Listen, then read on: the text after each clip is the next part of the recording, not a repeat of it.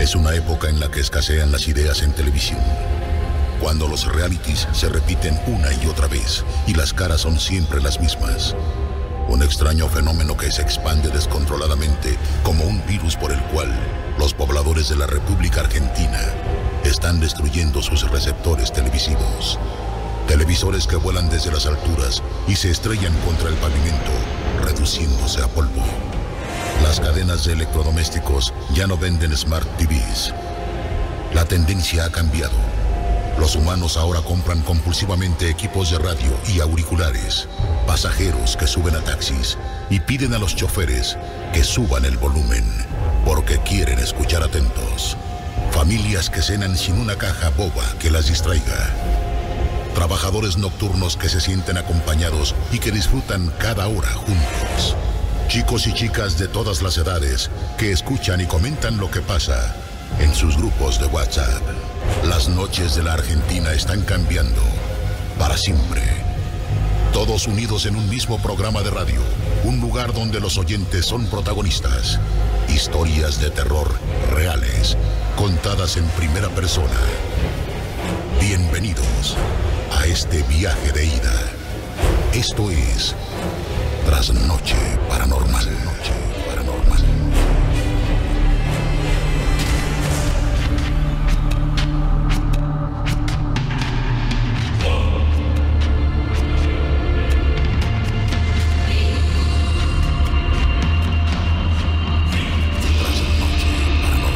Señoras y señores, sean ustedes muy bienvenidos a este, el verdadero ritual radiofónico. Estamos en vivo a las 10 de la noche con dos minutos por Bebana Radio, www.bebanaradio.com. Hoy es lunes 14 de septiembre del año 2020, volvemos en vivo, recuperados.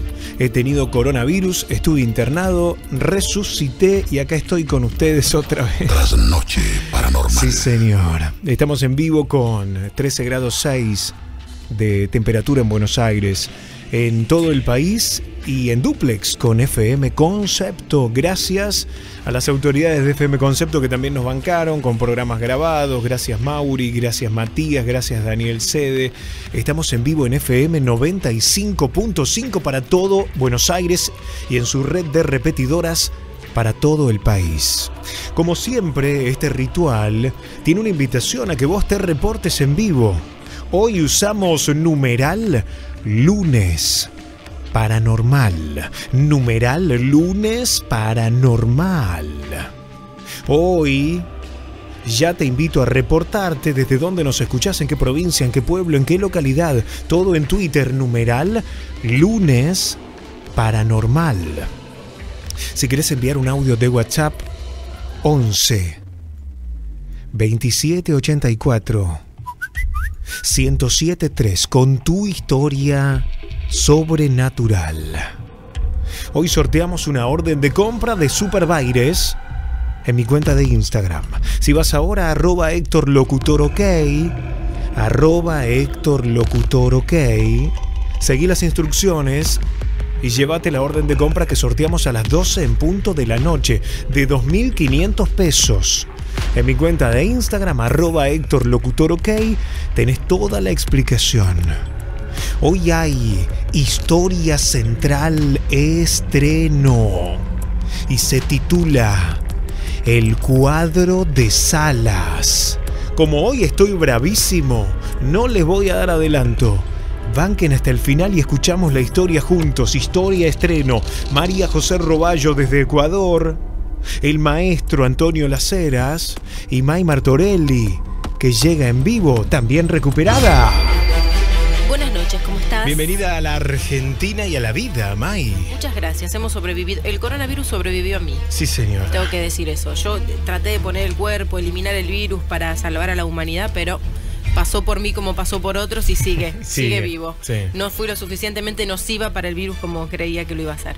Bueno, dejando de lado los chistes sonsos sobre el coronavirus, vamos a hablar hoy de mitología. Porque cuando dejamos de hacer este programa ya hace dos semanas, Tres o más. no recuerdo Sí. cuándo, habíamos y estábamos muy copados con el tema de la mitología escandinava, la mitología este, celta, la mitología escocesa. Bueno, hoy vamos a centrarnos en esa área, ¿no? Vamos a centrarnos en ese lugar, en Escocia particularmente. Después también hay algunos personajes que comparten, ¿no? Escocia comparte con Inglaterra, con Islandia, con Irlanda también, algunos seres mitológicos que se presentan en toda esa área. Y hoy vamos a conocer algunos, algunos que tienen algunas particularidades que... Mm, se nota que algunos son inventados, ficticios, como para enseñar una leyenda, otros que quizás eh, pueden ser reales, quien te lo dice, algunos que fueron fuente de inspiración para algunos personajes de películas muy conocidas. Ah, mira. Sí, sí, sí. Y tenemos también en, dentro de esta lista de mitos y leyendas también fantasmas gatos y fantasmas perros que vamos a ver qué función cumplen, ¿no? En un ratito nada más nos metemos de lleno en algunos seres mitológicos de la cultura de Escocia. Super noche de lunes. Usamos el numeral lunes paranormal. Él es el presidente de la Asociación Argentina de Parapsicología, doctor en psicología social, magíster en psicoanálisis, mago blanco, escritor, conferencista y mucho más. Ya está a la venta Belgrano y la masonería. Un trabajo de él que comienza así. ¿Qué es la masonería? ¿A qué se dedica la orden? ¿Qué sentido tiene convertirse en miembro de la masonería? En este capítulo buscaremos responder a todos estos interrogantes, así como a otro que a su alrededor habrá de surgir. Para responder, ¿qué mejor que dar la palabra a altas autoridades masónicas? Por ejemplo, el Gran Oriente Nacional de España, en su constitución 1890, publicada en el 1893, expresa, la francmasonería no es una religión positiva, ni una escuela filosófica, ni un partido político.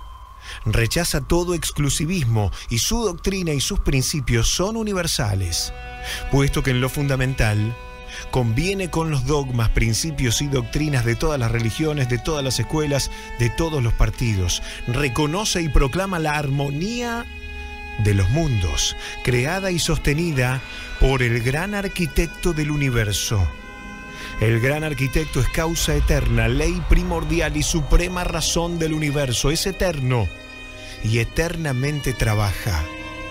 Señoras y señores, Belgrano y la masonería tiene como autor al maestro Antonio Laceras, que ya está en vivo con nosotros. Hola Antonio, buen lunes. Pero muy buen lunes, muy buen lunes, muy buen comienzo de semana, casi muy buen, muy bien, muy buen comienzo de mes también. Este, qué, qué, qué lindos esas líneas que estaba leyendo de, de mi Belgrano y la masonería, mi libro más reciente. Que así comienza, ¿no? Así, así comienza el libro. Sí, sí, porque me di cuenta, a medida que iba haciendo mis indagaciones, conferencias que, que, me pidieron para dar sobre masonería, y me di cuenta que hay una idea bastante confusa sobre qué es la masonería. A nivel popular, me encontré gente que, que me decía, bueno, pero eso de las logias no, no son lugares donde hacen trabajos ocultos, eh, cosas demoníacas. Eh, no, digo todo lo contrario. Este, en todo caso, pensamiento espiritual, eh, trabajo para desarrollar los criterios de libertad, entendiendo libertad como el pensamiento racional, crítico, eh, que te permite tomar decisiones, bueno, que fue lo que hicieron los prohombres de la patria, ¿no? Si, uno de los capítulos de Belgrano y la masonería se titula Los masones que hicieron mayo de 1810, referido a todos los hechos que concluyen el 25 de mayo de 1810. Y yo digo, si de todos los que participaron ahí me dijeran cuáles eran masones y cuáles no, yo prefería contestar al revés. Me preferiría decir directamente, miren, salvo Ascuénaga, que no lo era, todos los demás, lean a Mariano Moreno, el que busque, eran todos maestros masones. Claro, claro. Y en este libro vos te encargaste de focalizar en Belgrano, ¿no? En un año En impo- Belgrano. importante para la figura de Belgrano. Sí, porque además eh, eh, sobre San Martín se ha discutido más de masonería, pero de Manuel Belgrano se conoce muy poco de su condición masónica y él, la verdad, fue eh, ya integró la masonería de joven, de hombre de un poco más de 18 años y hasta el último de sus días siguió siendo un maestro masón en distintas logias e- y tuvo, y tuvo, yo diría para la historia, eh, un punto importante, el hecho de haber sido uno de los primeros miembros de la primera logia Lautaro. Fíjate que en la Argentina, en la escuela, desde la escuela primaria, ya nos hablan de la logia Lautaro y, y- y de la Revolución de Mayo, etcétera. Bueno, eh, uno de los primeros integrantes de junto con San Martín y con Julián Álvarez eh, de esa logia Lautaro inicial que tenía como finalidad liberar a esta parte de América del reinado de España y construir un, un país nuevo, independiente. Obvio que el sueño de, San Martín y de Belgrano era la patria grande, eh, todo lo que hoy es Colombia, Venezuela, Perú, Ecuador mismo, eh, Paraguay, Bolivia, Chile, eh, Uruguay, Argentina. El sueño de ellos era todo eso, un- una sola patria. Bueno, no pudo ser, pero sí la, la- intención de liberar América de la corona española y de cualquier otra, que hubiera autonomía. Y para eso usaron las ceremonias, los rituales, las palabras, los toques, los secretos y, y los augustos misterios que tiene cualquier logia masónica. Bueno, y ustedes pueden comprar este libro porque ya está a la venta, físico pero también digital.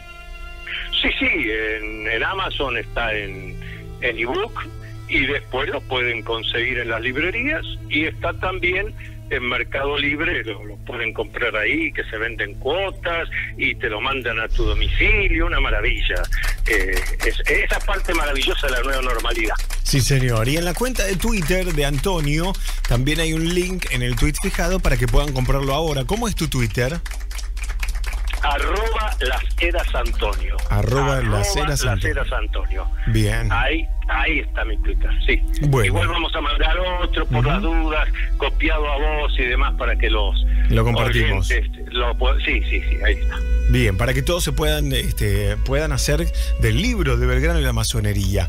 En un rato vamos a volver y vamos a seguir respondiendo consultas en vivo. Hoy noche de lunes, numeral lunes, paranormal. Pero como siempre decimos, si quieren escribirte a vos para seguirte, para tomar un curso, para consultarte ya de manera privada, ¿cómo te encuentran en todas las redes, Antonio? Eh, en Twitter, arroba las Antonio, arroba las Antonio, me pueden escribir mensaje en privado.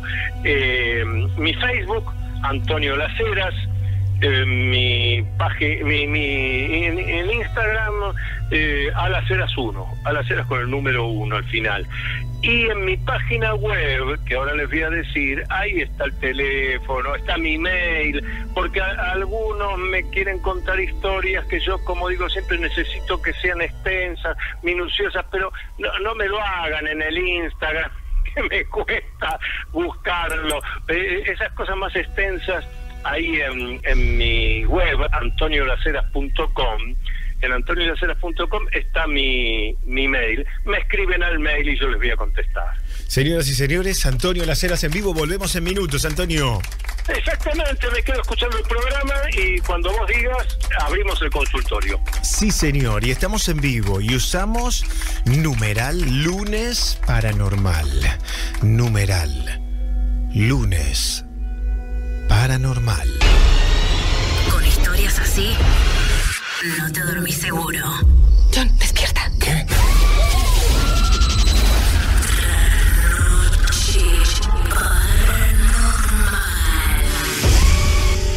Hoy, la noche night es Noche Paranormal. Son historias reales. Estamos en vivo, la trasnoche, el programa que vos elegís. El WhatsApp abierto 11 27 84 107 3. Y por teléfono, Siana se suma en vivo. Hola Siana, ¿cómo te va? Hola Héctor, ¿cómo estás? Bien, bienvenida una vez más. ¿Cómo estás vos? Gracias. ¿Todo bien, por suerte? Sos una persona a la que los fenómenos paranormales, primero entiendo por lo que vengo conociendo de las historias que nos contás, que no te asustan y que son algo como este, natural para vos, ¿o no? Así es.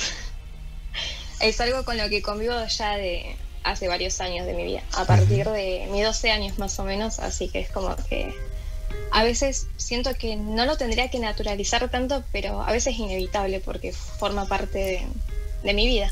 ¿Por, qué este, el, punto es los 12 años, tus 12 años? Porque ahí empezó todo.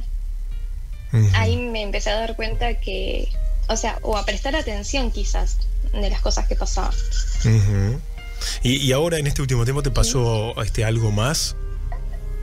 Eh, sí, pero hoy quería contar algo que, que, empezó a pasar con mi nena. A ver. Amar, eh, eh, desde que tiene dos años más o menos que se largó a hablar, un día eh, empezó a decir el señor gris. El señor gris. Y se reía, el señor gris. Se reía solo en la cuna y hablaba del señor gris. O sea, o sea hablaba, se le entendía y clarito decía el señor gris. Entonces, eh, un día le digo, hija, el señor gris, ¿qué? El señor gris. Y me decía, el señor Gris. Y señalaba así como a alguien. ¿A, qué lugar señalaba? ¿Para arriba, digamos? Claro, como que había alguien parado como al frente de su cuna. Entonces me señalaba los pies de la cuna. O sea, imagínate la cuna con la cajonera y como que la persona estaba ahí. Y era como en cualquier momento del día. A veces capaz que no íbamos a bañar y yo me decía, ay, mira, el señor Gris. Uy, uy como si ese ser estuviera por distintos lugares de la casa. Claro, así es. Y bueno, yo no podía percibir nada ni, sabía a qué se podía referir con el señor Gris. El tema fue que una noche me junté con unas amigas acá en casa y Ámbar viene así como a decirnos, el señor Gris está en la pieza, mamá. Uy, Dios. Imagínate que mis amigas casi se infartan porque, o sea, la vieron a ella así como preocupada porque como que había pasado algo. Eh, y nada, mis amigas entraron en shock y como, no, si en acá yo no vengo más a tu casa, siempre pasan cosas raras. y la verdad es que se asustaron muchísimo y yo, bueno, quería tratar de bajen un poco todo ese estrés que tenían porque como Amber era chiquita, como que ella no lo veía algo malo. Claro. Pero era extraño, o sea, pero yo tampoco quería asustarla porque, o sea, no nos podemos ir de la casa. Claro, claro. Entonces, bueno, mis amigas se quedaron atrincheradas en la cocina hasta que, bueno, hasta que llegaron mis papás y se sintieron como más seguras, pero de esa vez como que ya después hubo un tiempo que no, no habló más de esa persona. Que tampoco supe nunca bien quién era el señor Gris porque como ella recién estaba hablando, eh, no sabía cómo tampoco preguntarle bien quién era. Y hace un, bueno, cuando empezó más o menos la cuarentena, eh, estábamos cenando y como que ella miraba al, pasillo del comedor y mi papá le dice, ¿qué pasa? ¿Qué viste? dice, es que yo veo gente acá en la casa, pero yo no le digo nada porque ustedes no me van a dar bolilla. Uy, Dios. y nos quedamos todos mirándonos porque fue como... Y bueno, no quisimos hablar más nada porque tampoco queremos asustarla ni que ni que le agarre miedo estar en la casa, porque ahora nosotros en la situación que estamos pasando en Comodoro hay momentos que directamente no podemos salir. Entonces como que está complicado eso también, de poder salir y despejarnos. Y hace una semana más o menos eh, pasa de mi pieza al baño corriendo y me dice, ay mamá, acabo de ver a alguien en la casa, en la pieza de los abuelos. Muy Dios. Y yo le digo, ¿cómo que viste a alguien? Sí, mamá, a los pies de la cama, cerca de la ventana. Y justo yo le conté a, mis bebaneros favoritos, que después les voy a mandar un beso enorme a, ellos, que siempre me hacen el aguante, les digo, ay chicos, Ámbar acaba de ver algo que yo he visto ya varias veces, que es como que hay una figura negra parada en diagonal a la cama de mis papás. Que cuando uno pasa, yo a veces pensé que es como que uno pasa de refilón y Ujú. quiere ver algo y la cosa esa no está, o sea. Pero ella también lo vio y yo le dije, no, mami, era la sombra de la ropa y como que traté de, de calmarla, pero ella me dijo, no, mamá, estaba ahí Dios. y yo también lo vi. Así que a veces eso me preocupa un poco porque no sé bien todavía cómo poder tratarlo con ella. Claro. Eh, y sé que muchas veces quizás percibe o ve algo y le da también un poco de miedo de decirnos a nosotros. Yo trato de escucharla y, y no minimizar tampoco lo que pasa, pero sí tratar de darle un poco más de, de tranquilidad y que se sienta segura acá también. Che, gracias por compartir la historia, Siana. Mm, Bueno, Héctor, si me dejas mandarle un saludo a los chicos, a Fede, a Rodrigo, a Lady, a Flor, que la súper adoro, y a Josué. Bueno, un saludo para todos ellos y un aplauso también para todos ellos y para vos. Un beso, Siana. Un beso, Héctor. Chau, chau.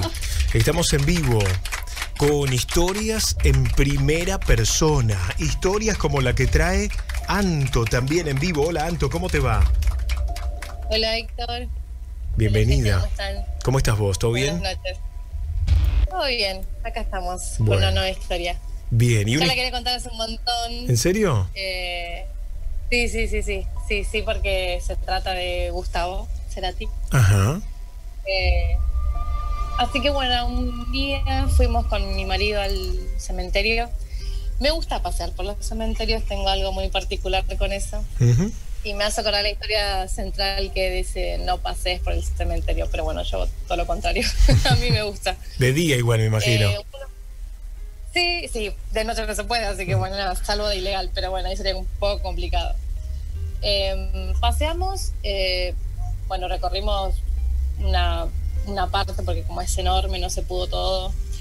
Y antes de irnos yo quería eh, visitarlo a Gustavo y como es un panteón privado no sé, no sé si se podía entrar en ese momento, bueno, el tema es que entramos, no sé cómo, no había nadie en la puerta.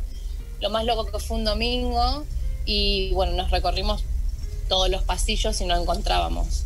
Después no había uno de seguridad y nos preguntó chicos qué, qué hacen acá o qué quieren, qué están buscando. Y bueno, yo le di, pedí por favor si él me podía decir dónde estaba eh, la tumba de Cerati.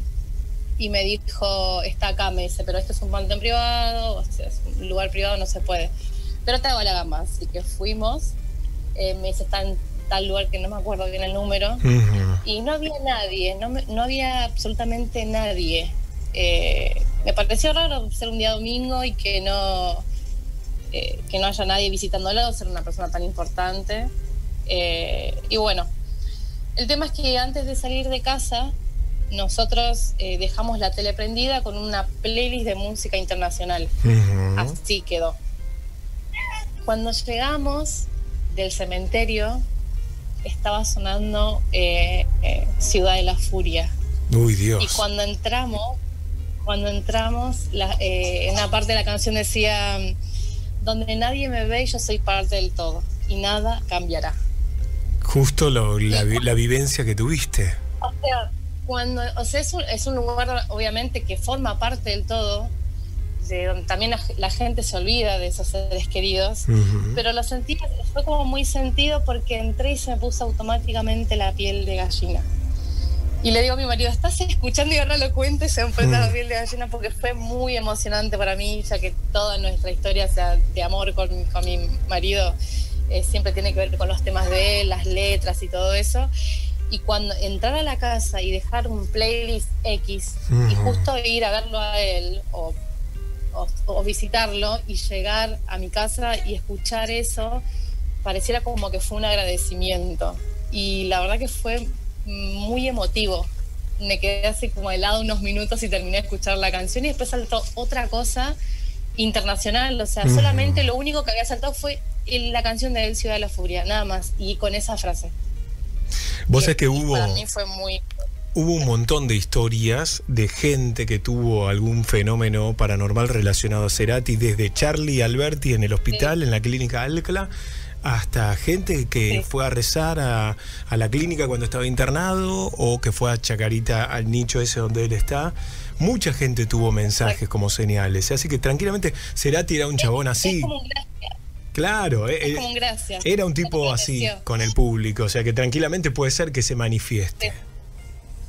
Sí, sí, sí, para mí fue algo muy, muy emotivo y nada, aparte de, de- de todas las canciones que, que, que formó parte de, de- de mi pareja, Ujú. o sea, de mi historia de pareja y todo eso fue como muy emocionante y para mí fue como un gracias y lo tomé así.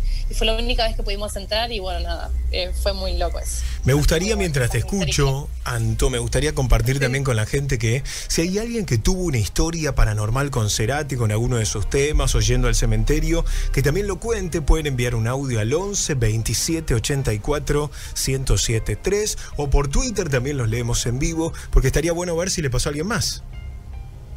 Exacto. Sí, sí, sí, es muy, para mí fue muy emotivo. Vamos a ver qué pasa. Gracias, Anto. Besito para todos. Besos, chau chau. Seguimos en vivo y ustedes se quedan con nosotros en la super trasnoche paranormal.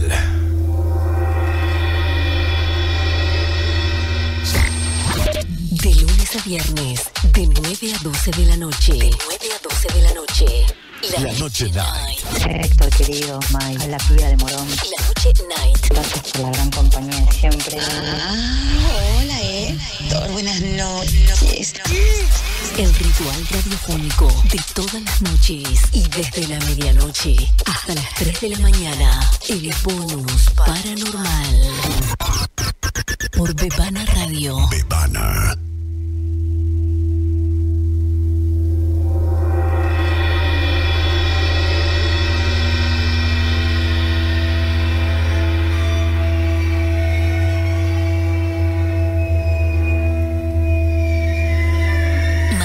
Un audio por WhatsApp al 1127 84 1073. 11 27 84 1073. Hola gente, soy Beto de Espeleta, les quiero contar mi historia. Yo tenía un tío que tenía una fábrica de plásticos en, San Martín. Hacían tupper, vasos, platos, todo de plástico. Era un galpón grandote y atrás del galpón estaba la casa de él, había un patio, la oficina, ¿no? La casa de él, con un jardín, y atrás la casa del celero de la fábrica. Primero falleció mi tío. Mi tío no falleció ahí. Mi tío falleció en el hospital. Y luego falleció la mujer de mi tío. La mujer de mi tío sí murió ahí. Una señora grande falleció ahí en la cama en su cuarto. Yo no sabía esto. Pasado un tiempo, este, yo me voy a vivir ahí, porque una tía me ofrece la casa, me voy a vivir ahí.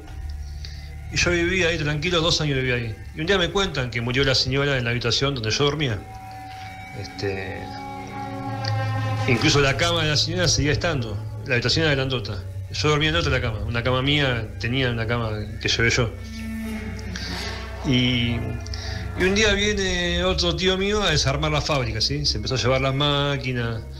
Había de todo, máquina, no sé, inyectora de plástico, compresor de aire, un torno, un taladro de mesa, todo maquinaria de fábrica. Se empezó a llevar todo, tardó como una semana, 15 días en llevarse todo, de a poquito, venía un día, se llevaba cada cosa, con camiones, con operarios, todo se llevaba. Este, y un día de noche, eh, adentro de la fábrica, yo escucho una mujer que grita, se están llevando todo. Me gritaron al lado del oído, al lado de la oreja me gritaron. Y no había nadie, estaba yo solo. Y me agarró un miedo tremendo, me fui, me metí en, mi casa, me quedé ahí. Este, y yo creo que era la señora que, bueno, la señora o, la, presencia de ella o la esencia de ella que quedó ahí, que, este, que reaccionó al ver que se le llevaban todo de la fábrica, que era su hogar. Y bueno, esa es mi historia. Espero que les guste, les mando un abrazo grande. La radio está muy buena. Aguante Bebana. Esta historia transcurre en un geriátrico donde trabajo. Ah, un residente muere, muy querido por, por sus pares. Eh, se organiza para ir a su entierro al día siguiente. Llega ese momento y mientras estábamos eh, tratando de ordenarnos para salir, porque a las diez y media había que estar en el cementerio. Mientras estábamos ahí, suena el llamador, que es como un llavero que cada residente tiene y lo aprieta cuando necesita asistencia. Y nosotros estamos parados al lado de la pantalla este, donde este, sale el nombre. Y cuando miramos con la enfermera y otro compañero más, vemos el nombre del muerto. Imagínate que se nos puso la piel de gallina. Inmediatamente la enfermera me dice, pero si yo ayer guardé el llamador bajo llave. A ver, vamos. Para ver si no era ningún chistoso.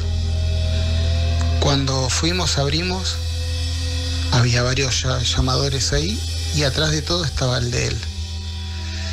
Así que la enfermera lo dijo en voz alta, por favor, andate tranquilo, ahora vamos a ir a despedirte, pero andate en paz. Así que bueno, esa es la historia para ustedes. Mandanos un audio por WhatsApp al 1127 84 1073. 11 27 84 1073. Buenas noches, mis queridos. May, Héctor. Soy Patricia de San Luis, muchas veces he llamado. Eh, bueno, voy dosificando mis, mis historias. Eh, esta es una historia breve eh, que le pasó a un amigo mío, eh, Lautaro, un tipo súper confiable. Si no, yo no estaría contándola esta historia. Mi amigo Lautaro eh, vino del exterior, donde vivía, y se quedó unos días en la casa de una amiga de él, ¿no es cierto? Un, un departamento grande en la zona de Belgrano. Y, y decidimos ir un día a saludarlo con una amiga mía. Eh, vamos allí, su amiga, es decir, la amiga de Lautaro que vivía en el departamento, no estaba, estaba él solo. Eh, yendo un poquito atrás en el tiempo, la amiga de Lautaro había tenido una hermana, había tenido porque esta hermana murió. Esta hermana, una señora medio vinagrada, se ve, no lo quería nada Lautaro. No lo quería, había esa bronca que hay a veces, ¿no? Entre la gente. Bueno, pero no, no vivía, no estaba más pasó al otro mundo. Eh, bueno, esa tarde fuimos a visitarlo Lautaro con una amiga mía. Estuvimos conversando sobre temas muy interesantes, eh, principalmente física cuántica. A todos nosotros nos interesaba la parapsicología, los misterios y la física cuántica no está exenta de misterios. Así que conversamos muy animadamente, fue una tarde preciosa. Eh, en un momento a mí se me ocurre decir, cosa que no hay que hacer, se me ocurre al aire, a un, lugar donde, a, un- a una habitación donde nadie había, decir, señora, venga, venga, únase a nosotros que este tema a usted le va a interesar. Yo, claro, me refería a la, a la difunta. no hay que hacerlo eso. Bueno, lo hice, qué sé yo. Estaba de buen ánimo. Y bueno, terminamos de charlar, con mi amiga nos fuimos, se quedó Lautaro solo en el departamento. Al rato, yo ya había llegado a mi casa, me llama Lautaro y me dice, no sabes lo que pasó. Ustedes se fueron y al ratito alguien, alguien que no estaba, no sé qué, algo, pegó un puntapié tremendo a la estufa. Un puntapié. Lautaro estaba ahí, cerca de la estufa, y lo escuchó. Eh, contándolo, alguien me dijo, pero Patricia, la estufa suelen hacer esos ruidos, ¿no? No las enciende. Bueno, no, no, la estufa estaba apagada. No hacía frío, no era invierno, la estufa estaba apagada. Eh, y bueno, Lautaro fue muy claro, les digo, un tipo de lo más creíble. Y bueno, esta es la historia. Yo no sé si la difunta se, enojó y quiso asustar a Lautaro. Bueno, otras cosas tenebrosas sucedieron en ese departamento, pero bueno, por ahora eh, me parece que está, está bien esta historia. Luego volveré a llamar en otro momento. Abrazos, cuídense. Hasta otro momento. Mandanos un audio por WhatsApp al 1127 84 1073. 11 27 84 1073. Gracias Patricia y a todos los que están mandando audios al 11 27 84 1073. Tu historia relatada en un audio. Si querés participar por Twitter, usamos numeral lunes paranormal. Estamos en vivo. 14 de septiembre, volvimos, resucitamos. Numeral lunes paranormal. Si estás ahí, reportate, contanos desde dónde nos escuchás. Contanos una historia abriendo un hilo en Twitter. Acordate que hay un sorteo abierto. En mi cuenta de Instagram, arroba Héctor Locutor OK, llegó el primer supermercado 100% digital a Buenos Aires. Hablamos de www.superbaires.com.ar. Y el sorteo ya está abierto. Métete ahora en mi cuenta de Instagram, arroba Héctor Locutor OK. Revisa mi feed, ahí vas a ver el voucher de 2.500 pesos en mercadería para vos. Se sortean un rato a las 12 de la noche. Seguí las instrucciones de mi Instagram y llévate la orden de compra de 2.500 pesos de Super Baires. Uno más y dice... Hola Héctor, buenas noches. Habla César de Quilmes, acá laburando con el camión, acá a la noche. Estaba escuchando el tema de los gatos, o sea que yo tengo uno, un gato negro, en mi casa. Y es verdad, es verdad lo, lo que decís, que muchas veces cuando llego de laburar, yo llego a la mañana y el gato empieza a maullar, a maullar. Y hoy precisamente tuvimos, una discusión, una charla con,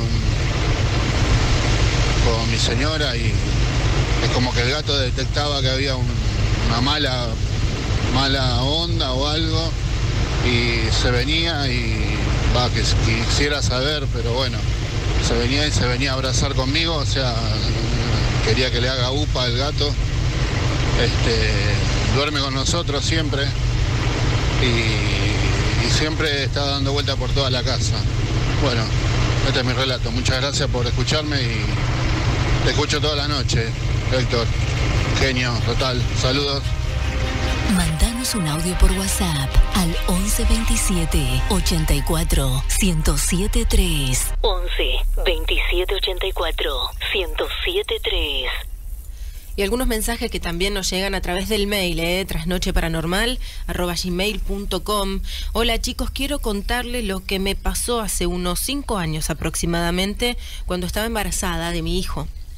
Mi marido trabajaba lejos, venía solo los fines de semana, entonces yo quedaba sola en la casa y siempre diez y media de cada noche sentía una presencia, muy cerca, se acostaba junto a mí y me daba un escalofrío. Incluso cuando mi marido, estando en casa, pasaba lo mismo y pensé que estaba loca, pero cuando nació mi hijo, esto no volvió a pasar nunca más. Entonces siempre me pregunté, ¿qué habrá sido? Hay cosas peores que me pasaron, ¿eh? Y me marcaron para siempre. Creo que, que todos, todos esconden alguna historia paranormal. Gracias y saludos.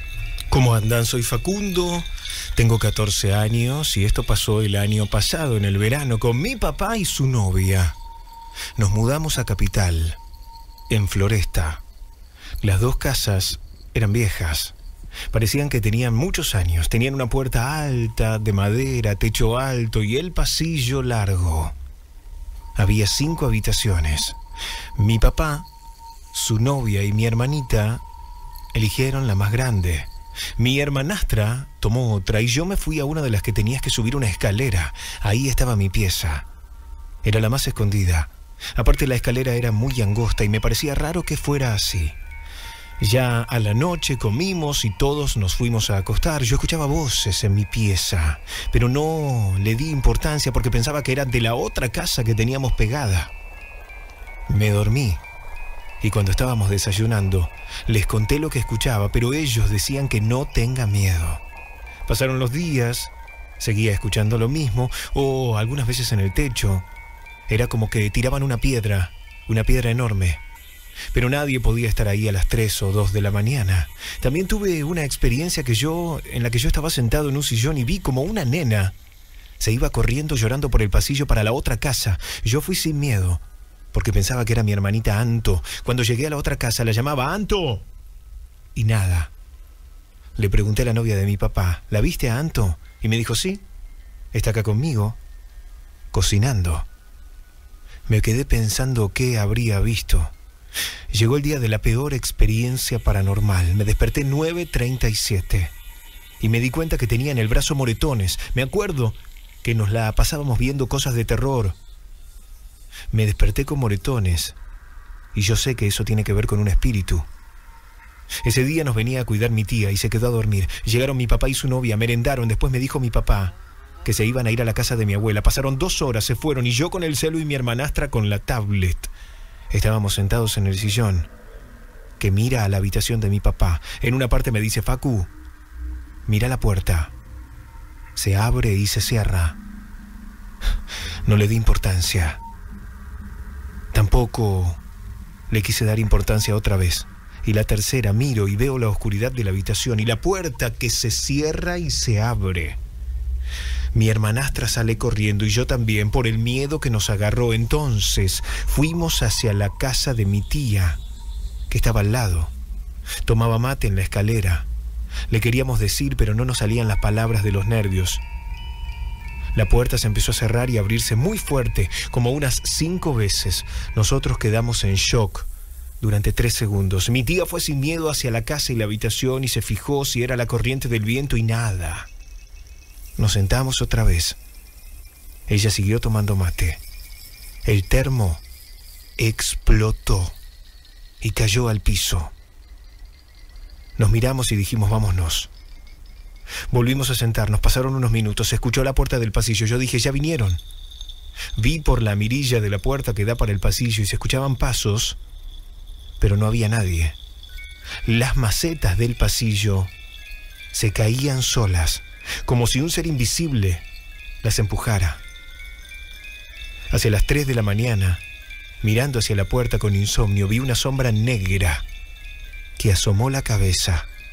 Me tapé rápido y mi corazón iba a mil. Vuelvo a mirar y desapareció. Gracias a Dios, pudo venir un cura a nuestra casa y a partir de que rezó ahí, nunca más pasó nada. Creo en lo paranormal desde que me pasó en primera persona. Buenas noches, Héctor. Mi nombre es Alejandro, pertenezco a una fuerza de seguridad.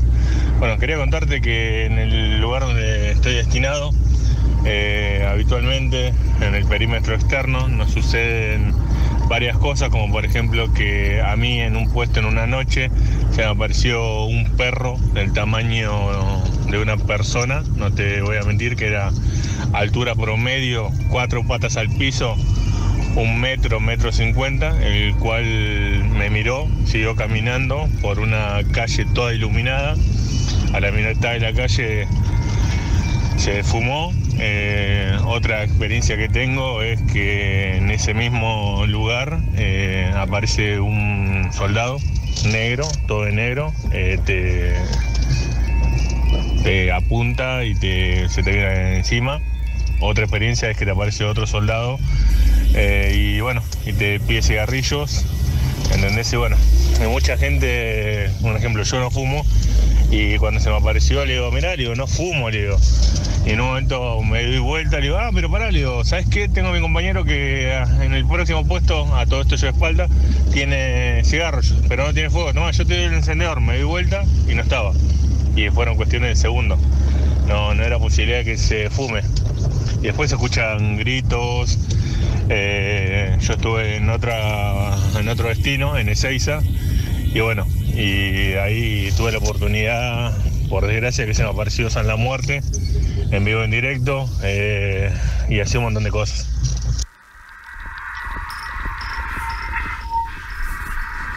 Volví a escuchar la trasnoche paranormal en Spotify. Búscanos como trasnoche paranormal. Búscanos como trasnoche paranormal. En YouTube, suscríbete gratis al canal Héctor Locutor.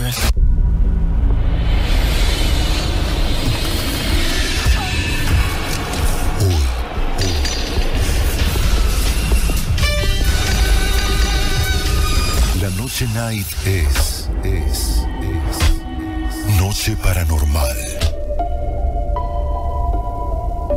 vamos a hablar de monstruos y leyendas de la mitología escocesa. Y hay que destacar que las Highlands, estas regiones de Escocia y archipiélagos como las Islas Orcadas y Shetland, son lugares especialmente fértiles en lo que a mitos se refiere. Áreas recónditas, casi despobladas, regiones bastante ariscas y como siempre salpicándolas el agua de lagos, el agua de ríos y de montañas, un elemento crucial en la vida de los habitantes de Escocia. Y de esta naturaleza rica e inhóspita surgen criaturas sobrenaturales, ¿no? Muchas de tradición celta, relacionadas también con supersticiones. Em, había muchos miedos, se admiraba mucho en el pasado y de ese modo se dieron a conocer algunos espíritus que forman parte del imaginario colectivo de Escocia y que hoy vamos a contarte, empezando por algunos elfos, elfos pequeños, domésticos. ¿Saben cómo se llamaban? Brownies. Nada tienen que ver con los brownies que se preparan en el horno. ¿eh? Estos son criaturas de la mitología escocesa que viven en las casas, que ayudan en los quehaceres a cambio de comida. Solamente salen de noche, cuando limpian, elaboran la manteca y muelen también el grano. Tienen forma humana o humanoide, ¿no? Son muy chiquititos, tienen el rostro arrugado, les encantan los objetos brillantes, pero odian absolutamente que los humanos critiquen su trabajo, no lo soportan.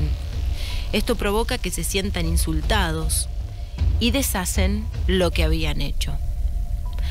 La mayoría de los brownies, estos elfos domésticos, viven en una sola casa durante toda su vida, que puede durar siglos, o sea, puede cambiar de dueño, pero ellos siguen estando en esa casa. Los brownies escoceses a veces viven en arroyos y en cascadas y son menos propensos a ofrecer ayuda doméstica que los ingleses. En el pasado, en algunas partes de Escocia, la creencia de los brownies era tal que se les hacían algunas ofrendas cotidianas, como por ejemplo se les ofrecía leche recién ordeñada o algunos productos que los dueños de los campos hacían y de esa manera le hacían como una especie de ofrenda de paz para que el brownie si se acercaba se acercara de una manera amigable. Y probablemente vos estés pensando y le estés dando forma a ese brownie en tu cabeza. Bueno, yo te voy a invitar a que pienses en Dobby. ¿Ubican a Dobby? El, uno de estos elfos de la saga de Harry Potter. Bueno, Dolby está inspirado en estos brownies en Yorkshire. Eh, estos brownies que son, como te decía, elfos domésticos, no solo de la zona de, Escocia, sino también de la zona de, de Inglaterra. Otro personaje protagonista de la mitología celta y de la mitología de Escocia es el Caoineag, que es una mujer fatal. Significa la llorona Miren ustedes qué casualidad, ¿no?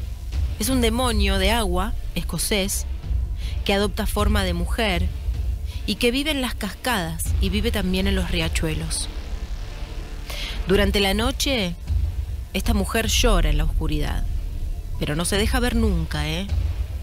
Y quien tenga la mala fortuna de escuchar sus lamentos, se va a enfrentar seguramente a una gran catástrofe o a la muerte inminente. Las Selkis son irresistibles mujeres foca, que también forman parte de la mitología escocesa. También se las ha visto en Irlanda, también se las ha visto en Islandia. Y son criaturas de la mitología también presentes en varias tradiciones nórdicas, aunque muy en especial se las ubica en las islas Orkney y Shetland. Son focas que pueden quitarse el pelaje y pueden transformarse en mujeres muy atrayentes. Y las Selkis protagonizan sobre todo tragedias, ¿no? En muchas historias, algún pescador solitario le roba el pelaje a una Selkie cuando esta está transformada en humana, impidiéndole volver a su forma primitiva. Después se casa con ella, tienen hijos que nacen, pero con deformidades, como membranas en las manos, casi como mitad hombres, mitad pescados. Mientras la Selkie se enferma de nostalgia, sigue buscando su pelaje para poder volver de esa manera al mar. Pero por el contrario, en algunos casos, el pescador conoce a la Selkie en su forma humana, sin sospechar que se esconde detrás de esta tentadora apariencia. Y cuando se despierta, la criatura se marchó para siempre. También existen selkies con apariencia masculina, dicen algunas leyendas, ¿eh? que atraen, en lugar de atraer a los hombres, atraen a mujeres, a mujeres infelices en sus matrimonios. Y cuenta la leyenda que si la mujer de un pescador quiere que un selkie le haga el amor, basta con que se acerque al mar y derrame siete lágrimas en el agua. Y aunque la mayoría son inofensivas, salvo por algún corazón roto, algunas de las selkies de las islas de Shetland, como las sirenas, atraen a los hombres al mar y nunca se los vuelve a ver. El cat es un gato que roba almas. Esta es una leyenda de Escocia y de Irlanda. El cat Sith es un espíritu encarnado por un gato negro. Un gato negro pero que tiene una mancha blanca en el pecho. Y la leyenda cuenta que esta criatura muy malvada frecuenta las Highlands y se puede robar el alma de un muerto antes de que lo entierren si salta por encima de su cuerpo. Obviamente para impedir esto y ahuyentar al Cat Sith, antiguamente los cadáveres se velaban con música, se velaban con juegos y no se lo dejaba solo al muerto para que no apareciera el gato y le robara el alma. Algunos creían que este gato, el Cat Sith, era en realidad una bruja que podía transformarse en gato, pero solamente ocho veces en su vida. Si la bruja se transformaba por novena vez, se quedaba para siempre atrapada en el cuerpo de este gato y por eso en algunas regiones se dice que los gatos tienen nueve vidas. Es de ahí que viene la leyenda de las nueve vidas de los gatos. Otros dicen que tiene siete nomás, tendríamos que averiguar de dónde viene también esa leyenda. Es posible, algunos dicen que este gato, el Cat Sith, está inspirado en Kella, un híbrido entre gato montés escocés y gato doméstico, que solamente existe en Escocia. En el folclore inglés, por su parte, existe también un cuento bastante curioso conocido como El Rey de los Gatos, en el que un hombre llega a su casa y cuenta a su mujer y a su gato que vio a nueve gatos negros con manchas blancas en el pecho cargando con un ataúd, con una corona encima, y que uno de los gatos le dijo, dile a Tom Tildrum que Tim Toldrum ha muerto. Claro, después de oír la historia, el gato exclama, ¿qué? ¿El viejo Tim ha muerto? Entonces, ahora soy el rey de los gatos. Seguidamente, el gato Tom sube por la chimenea y desaparece para siempre. Algunas leyendas, algunos mitos que también se transforman y se mezclan con historias que alguna vez hemos escuchado en nuestra infancia, ¿no? Sucede muchas veces esto con con las historias y con las leyendas. A veces se cuelan dentro de algunas historias infantiles y nos dejan de alguna manera una moraleja. Otro animal, esta vez un perro, llamado Q-Sit, se lo conoce como el mensajero de la muerte en Escocia. El Q-Sit, perro hada, es un perro sabueso propio de la mitología de las Islas Hébridas. Se cree que merodea por los páramos y las partes rocosas de las Highlands de Escocia. Tiene el pelo enredado, enmarañado, la cola enrulada y tiene cuatro patas del tamaño de una mano humana. Se le tiene mucho miedo a este Kusid por ser un mensajero de la muerte. Él aparece para llevarse el alma de una persona hacia el más allá. Y además se cree que a veces deja escapar tres aullidos que pueden oírse desde muy lejos.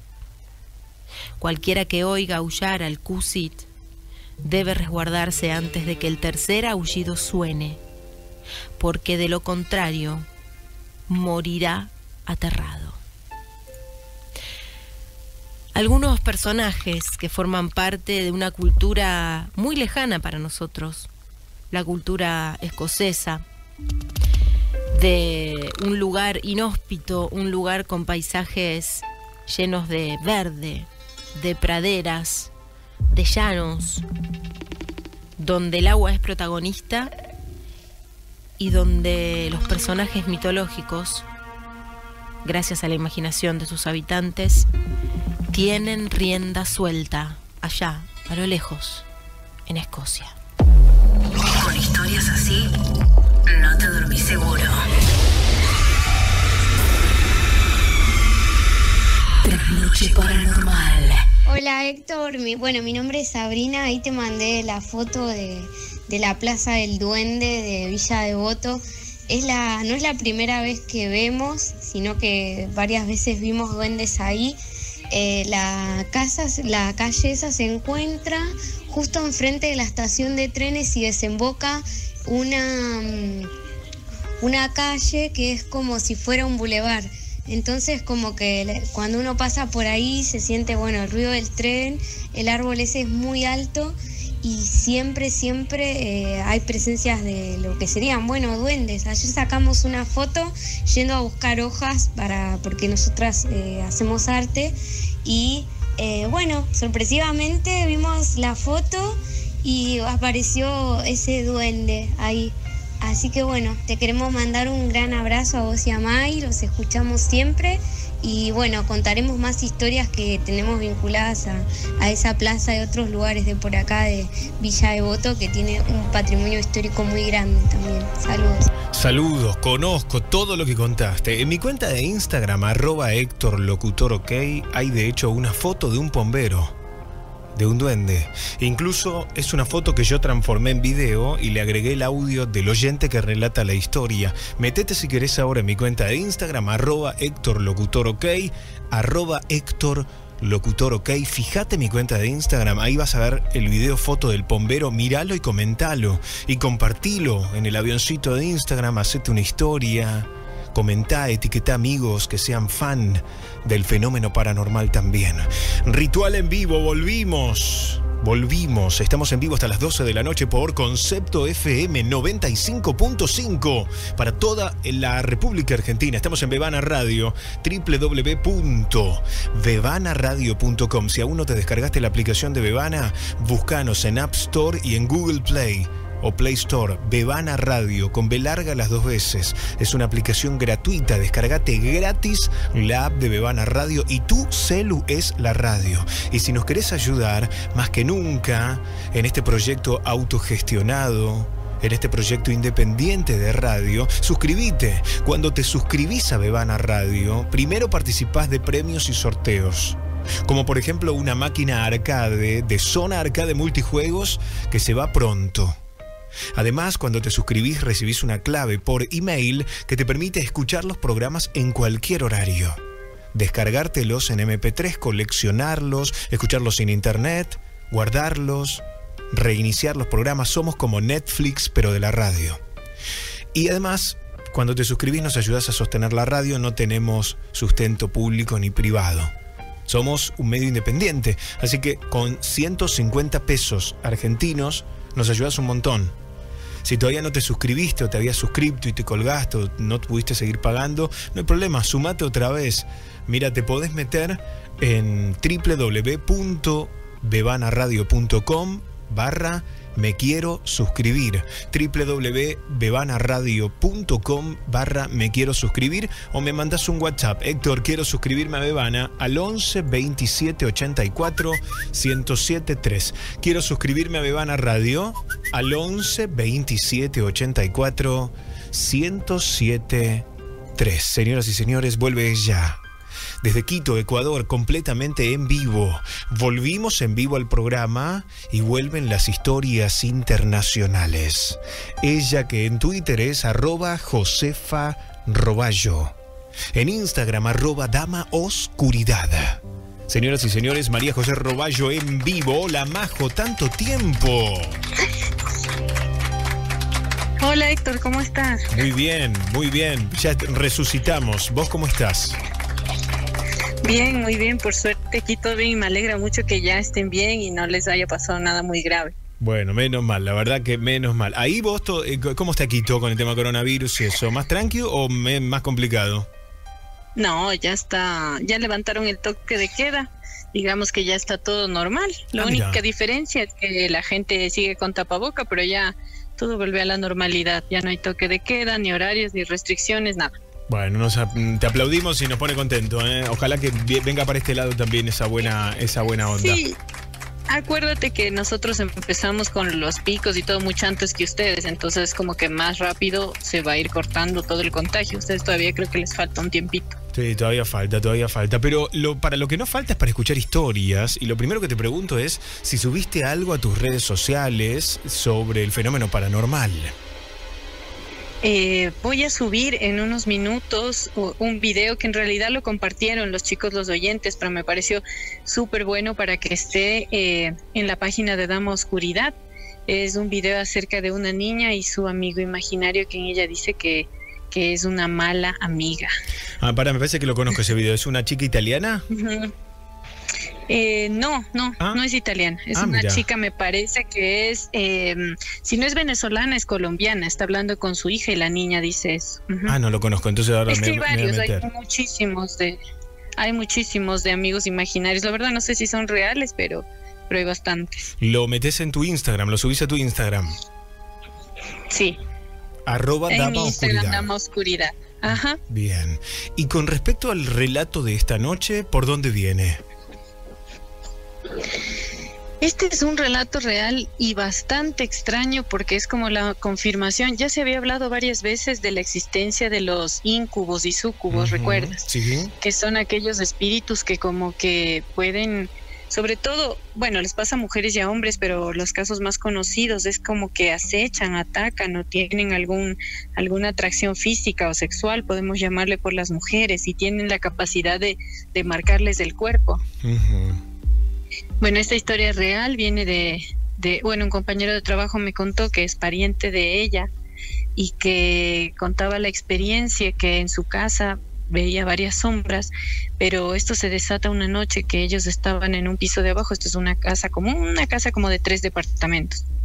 Ella discute con su esposo y enojada sube sola a su departamento donde ya habían algunas manifestaciones y de repente cuando ella se acuesta siente que esta presencia ya se le puede acercar y, y las personas que están abajo oyen un tremendo grito suben a ver qué es lo que le había pasado y ella dice que este espíritu le, le agarró del cuello y, y quiso como poseerla. Entonces todos le, miraban asombrados, pero cuando le miraron el cuello efectivamente tenía las marcas de una mano muy grande que le había estado ahorcando. Pero esto no fue una sola vez. Cada vez que ella se quedaba sola aparecía con marcas de esa mano en las piernas, le jalaba de las piernas, le, jalaba de los brazos, le dejó algunos moretones y la verdad que era como un espíritu que, que quería poseerla todo el tiempo, al punto que tuvieron que llamar a un padre especializado para que haga una limpieza en esa casa. Pero lo que ella cuenta es que más o menos todas estas experiencias le duraron alrededor de un año. ¿Y cómo titulas la historia?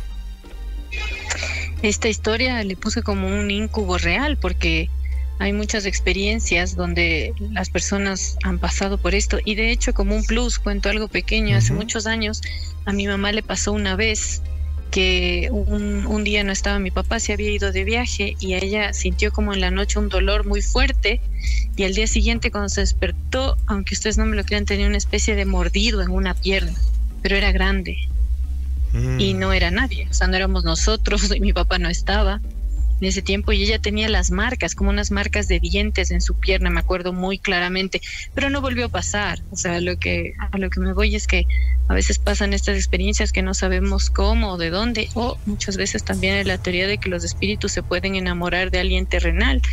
No sé si eso sea cierto, pero la verdad es que estas dos experiencias son reales y dejaron marcas en estas personas. Señoras y señores, volvió Roballo. Obviamente está explotando Twitter, numeral lunes paranormal. Pueden escribirle arroba Josefa Roballo, lo que quieran, saludarla, compartir historias. Volvimos todos para no irnos nunca más. Así que, Majo, te extrañamos, te mando un beso grande y el próximo miércoles volvemos en vivo.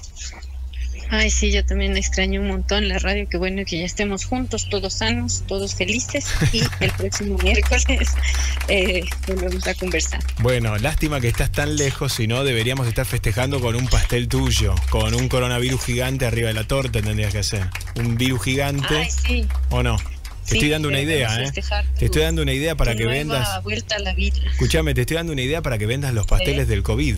Que hagas un. ¿Viste la imagen del virus que es como un monstruito verde con todos tentáculos? Eso arriba sí, de la torta.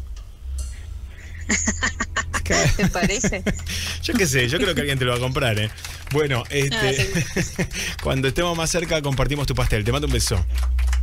Un beso, que estén muy bien. Chao, chao. María José Roballo en vivo. Señoras y señores, llegó el momento de escribir en Twitter. Así llegué a la última hora de numeral lunes paranormal. Así llegué a la última hora de numeral lunes paranormal. Suban una foto, un GIF animado, un video, lo que quieran. Una foto de lo que están comiendo, una selfie. Así llegué a la última hora de numeral lunes paranormal. Ya se fue el Smart TV. Ahora se vienen otros premios. Acordate, mi cuenta de Instagram, arroba Héctor Locutor OK, está abierto todavía el sorteo de la orden de compra de 2.500 pesos en superbaires.com.ar, el supermercado 100% digital. Participa la gente de Capital Federal y Gran Buenos Aires. Si vos querés comprar con 15% de descuento en el total de tu compra, usa el código Héctor Locutor. Entra a www.superbaires.com.ar y al momento de pagar, cargas el código Héctor Locutor, automáticamente 15% de descuento en el total de tu compra. En mi cuenta de Instagram, arroba Héctor Locutor OK, tenés explicado todo para participar ahora del sorteo. En un rato lo sortean los chicos de Superbaires y lo explican ahí, dicen quién es el ganador por Instagram. Una historia más. Y seguimos en vivo. Hola Héctor, buenas noches. Soy Emanuel de Brazatei. Te quería comentar porque hace un par de años eh, nosotros nos mudamos a Brazatei. Estamos viendo en Hudson. Nos mudamos con mi mujer a Brazatei y en el transcurso del- de la mudanza los sobrinos de ella se sacaron una foto en el comedor de donde íbamos a, a vivir nosotros y eran, eran cuatro personas y no había más nadie porque nosotros estábamos haciendo la mudanza. Y cuando se sacaron esas fotos salió algo atrás que no tiene sentido de que haya otra persona porque no había más nadie que ellos, nada más. Si querés te la puedo pasar, así vos la analizás y me decís qué puede llegar a ser, viste que ustedes entienden mal el tema. Y ah, habrá algún problema si te digo que si, si te paso la foto se puede distorsionar las caras y vos la puedes, si la querés subir. Bebana. Bebanaradio.com Porque ahora, tu celu es la radio.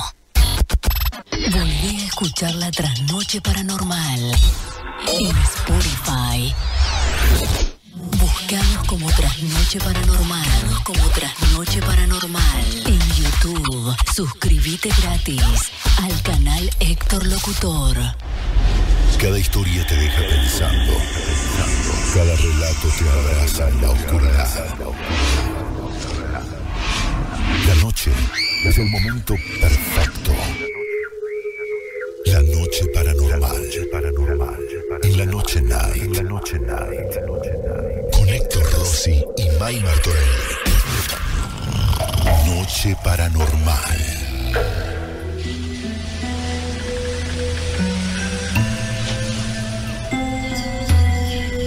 Super noche de lunes, usamos numeral lunes paranormal. Numeral lunes paranormal. Estamos completamente en vivo.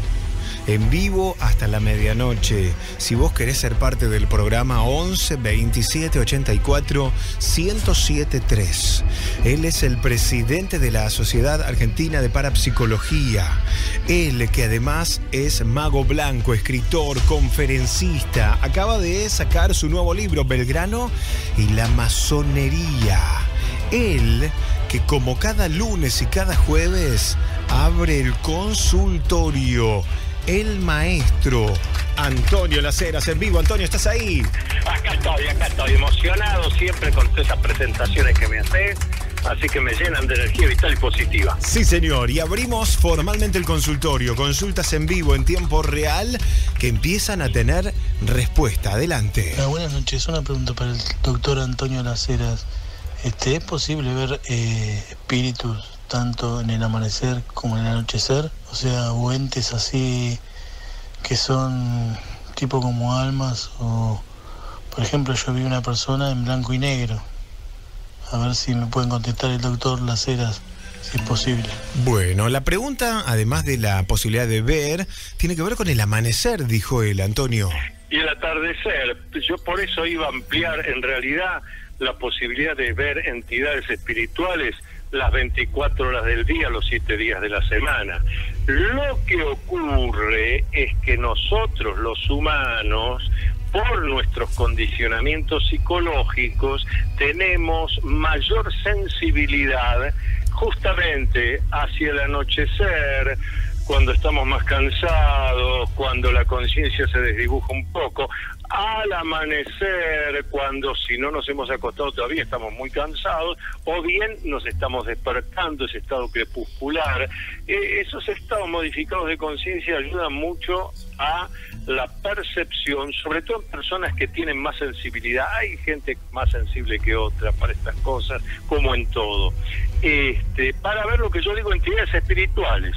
No estamos diciendo un alma en pena ni un fantasma, estamos diciendo entidades espirituales. Después, en cada caso habrá que averiguar de qué se trata realmente. Pero sí, sí, es lógico, si bien ratifico que en principio las 24 horas del día, los 7 días de la semana, es posible a tener una percepción de este tipo, pero por condicionamientos psicológicos nuestros es más factible que ocurra en los momentos que el oyente ha preguntado. Sí, tiene razón. Primera pregunta que tiene respuesta 11 27 84 107 3. Hola, gente de Bebana. Quería hacer una pregunta a Antonio y es la siguiente. Eh, quería saber si siempre que uno siente una presencia o se siente observado por algo o por alguien, eh, necesariamente siempre tiene que ser así. Digamos, si cuando uno lo siente, eh, hay una presencia cerca o puede ser también una falla en, nuestro, en nuestra mente, digamos, que, que por estar escuchando una radio de terror como es Bebana o, o lo que sea, eh, nos juega una mala pasada y no hace creer de que algo está sucediendo. Eh, bueno, desde ya, gracias. Bueno, Antonio. Excelente, a él solo, el oyente solo ha dado una buena respuesta. Solamente le corregiría, él dice una falla en la mente, no, son otras sensibilidades, pero es cierto que más de una vez eh, que podemos estar sugestionados porque estaba escuchando la trasnoche paranormal en Bebana Radio, porque ha visto una película de misterio, eh, porque eh, se sugestionó con alguna cosa, entonces ese, ese estado de sugestión puede hacer que creamos que está sucediendo algo que no sucede. Por ejemplo, que detrás de nosotros hay algo. Este, tiene razón. Eh, no, o sea, que, que, está, eh, está contestado la misma pregunta. No siempre que eh, nos parece que hay una presencia, que sentimos unos ojos detrás que nos observan, no siempre esto es así. Muchas veces tiene que ver con nuestra propia sugestión, nuestros estados sugestivos provocados en relación a lo que nos está pasando, lo que estamos pensando, o alguna cosa, una película que vimos, un libro que leímos, alguna cosa por el estilo. Preguntas en vivo 11 27 84 1073 con el hashtag lunes paranormal. Ahora sí, una pregunta para el profesor Lajeras. Eh, soñar sobre que te dicen que hay un demonio en tu habitación. ¿Qué puede significar? Soñar que alguien le dice que hay un demonio en su habitación. Antonio. Bueno, una vez más, para dar una respuesta precisa necesitaríamos poder hablar con el oyente, hacer algunas preguntas, pero si este es el único dato que tengo, podría interpretarse, podría, porque nos faltan datos, interpretarse, que su mismo psiquismo, su psiquismo inconsciente, eh, su psiquismo profundo, a través del sueño, le está avisando que hay algún peligro, representado por ese demonio que aparece en la habitación, que hay algún peligro que tiene que cuidarse de algo que en la vida consciente no se está dando cuenta, pero que hay un enemigo acechando. Bien. Tengo una consulta que nos mandan escrita al mail a trasnocheparanormal.gmail.com. Este mensaje es para las eras, dice. Les pido que no digan quién manda esto, pero lo voy a leer igual sin el nombre. Quiero que me diga qué opina. En la noche del 29 de julio soñé que estaba en una casa que tenía una pared de vidrio y daba a un fondo. Por ella veo que se acerca mi mamá, quien falleció hace más de un año, con una aura de luz. En el sueño yo sabía que ella no estaba viva y eso me daba cierto miedo, pero logro vencerlo y la dejo entrar. Luego de abrazarla, conversar un, conversar un rato, le pregunté qué opinaba de la persona con la que yo estaba. Me dijo, no es para vos. Mira su Facebook, vas a saber qué ver, vos sabés buscar. También agregó, las de Tauro no nos equivocamos. Ese era su signo. Yo no le llevé el apunte al sueño. Los días pasaron, con esa persona por cosas que no vienen al caso, nos distanciamos. Pero menos de una semana después de la ruptura, él puso que tenía una nueva relación en su Facebook. O sea que mantuvo una relación paralela. ¿Casualidad o no lo del sueño? El sueño lo tuve un mes antes de que ocurriera esto. Pregunta para Antonio. Bueno, Antonio. Leibniz decía, casualidad es el rótulo que damos a aquellas cosas cuyas causas ignoramos. En el universo todo es causal, así que casualidades no hay. Este sueño es un sueño revelador, un sueño evidentemente parapsicológico, a través de alguna captación clarividente, eh, el soñante tomó conciencia en sueño eh, de las dificultades que traía esta relación o que tenía esta relación, como después se comprueba. Y en el sueño tiene que aparecer una figura de autoridad para que uno al despertar y acordarse del sueño diga, che, a ver, eh, eh, esto no es una tontería que soñé, ¿cómo va a ser una tontería?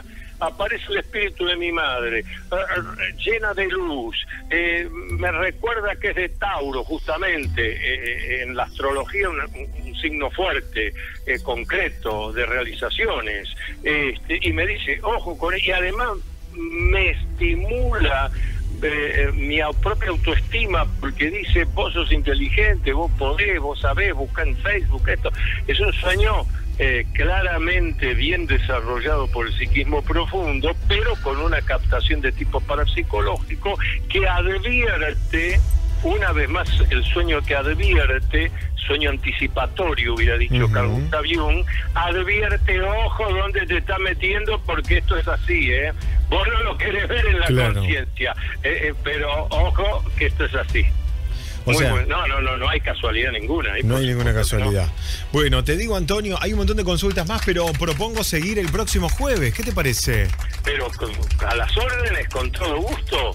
Lo haremos, lo haremos. Así Yo le agradezco una vez más a todos los que nos escriben, nos llaman por la confianza que tienen en lo que hacemos acá en tu programa, Héctor. Y anímense a seguir escribiendo con el hashtag lunes paranormal o en el 11 27 84 1073. Una vez más, ¿cómo hacen para seguirte en redes sociales, Antonio? En Twitter estoy en arroba laceras Antonio, arroba laceras Antonio. Instagram a laceras 1, a laceras con el número 1 al final. Eh, mi página en Facebook, Antonio Laceras. Para los que les interesa indagar un poco más sobre mi nuevo libro, en Facebook, Belgrano y la Masonería, una página de Facebook. Y mi página web, donde está mi mail, mi teléfono, lo que necesiten, es antoniolaceras.com. Sí, señor, y volvemos el próximo jueves en vivo. ¿Qué te parece? En vivo. Unos abrazos para todos. Un abrazo, Antonio, nos vemos. Buena semana. Quédense con nosotros. Numeral ju- lunes paranormal. En vivo, numeral lunes paranormal. Noche paranormal. Paranormal. Noche night.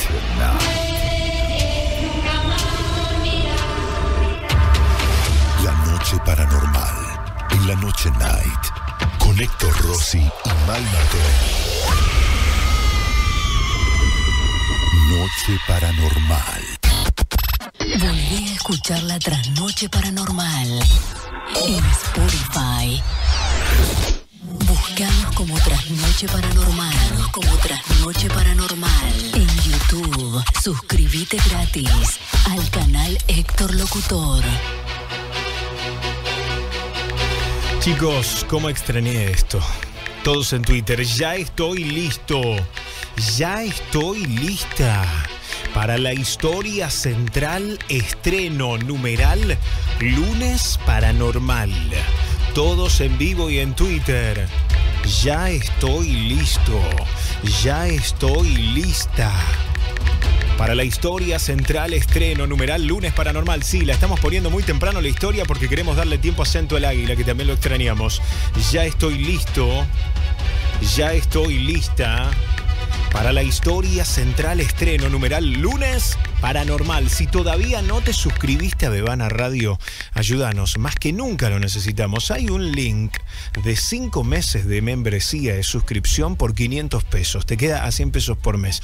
Hasta, a ver, septiembre, octubre, noviembre, diciembre, enero, hasta enero incluido. Si querés ese link de descuento, 5 meses con súper descuento, escribime ahora un WhatsApp. Héctor, dame el link de los 5 meses al 11 27 84 1073. 11 27 84 1073. Quiero el link de los 5 meses.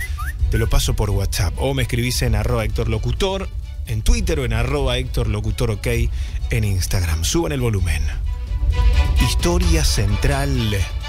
Estreno en el aire. Esta es la historia real de El cuadro de Salas. En primera persona. Hace un par de semanas me pidieron que contara mi historia con Salas. Y es lo que voy a hacer. No den mi nombre, por favor, solo que se sepa que ocurrió en la ciudad de Buenos Aires. No estoy loco, sé que estoy más nervioso de lo que estaba, pero tengo motivos para estarlo. Creo que tuve suerte al conservar la cordura. Ustedes saben por qué me aparté de Salas. Dios no estaría vivo si hubiera visto lo que él vio.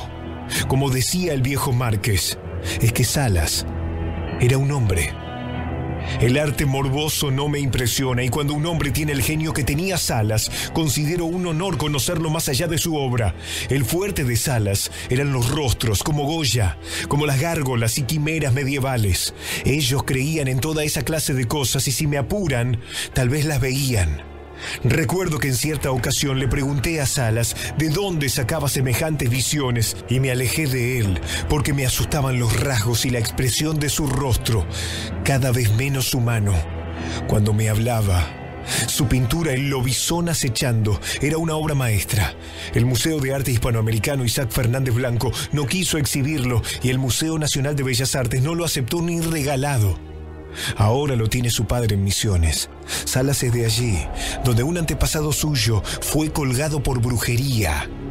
Empecé a visitarlo seguido en su departamento de Recoleta, en French, entre Agüero y Austria, cuando empecé a juntar material para un informe sobre las artes y el género fantástico. Su obra me sugirió la idea y descubrí datos que él podría facilitarme en el momento de desarrollarla. En esos días me enseñó los cuadros y dibujos que poseía.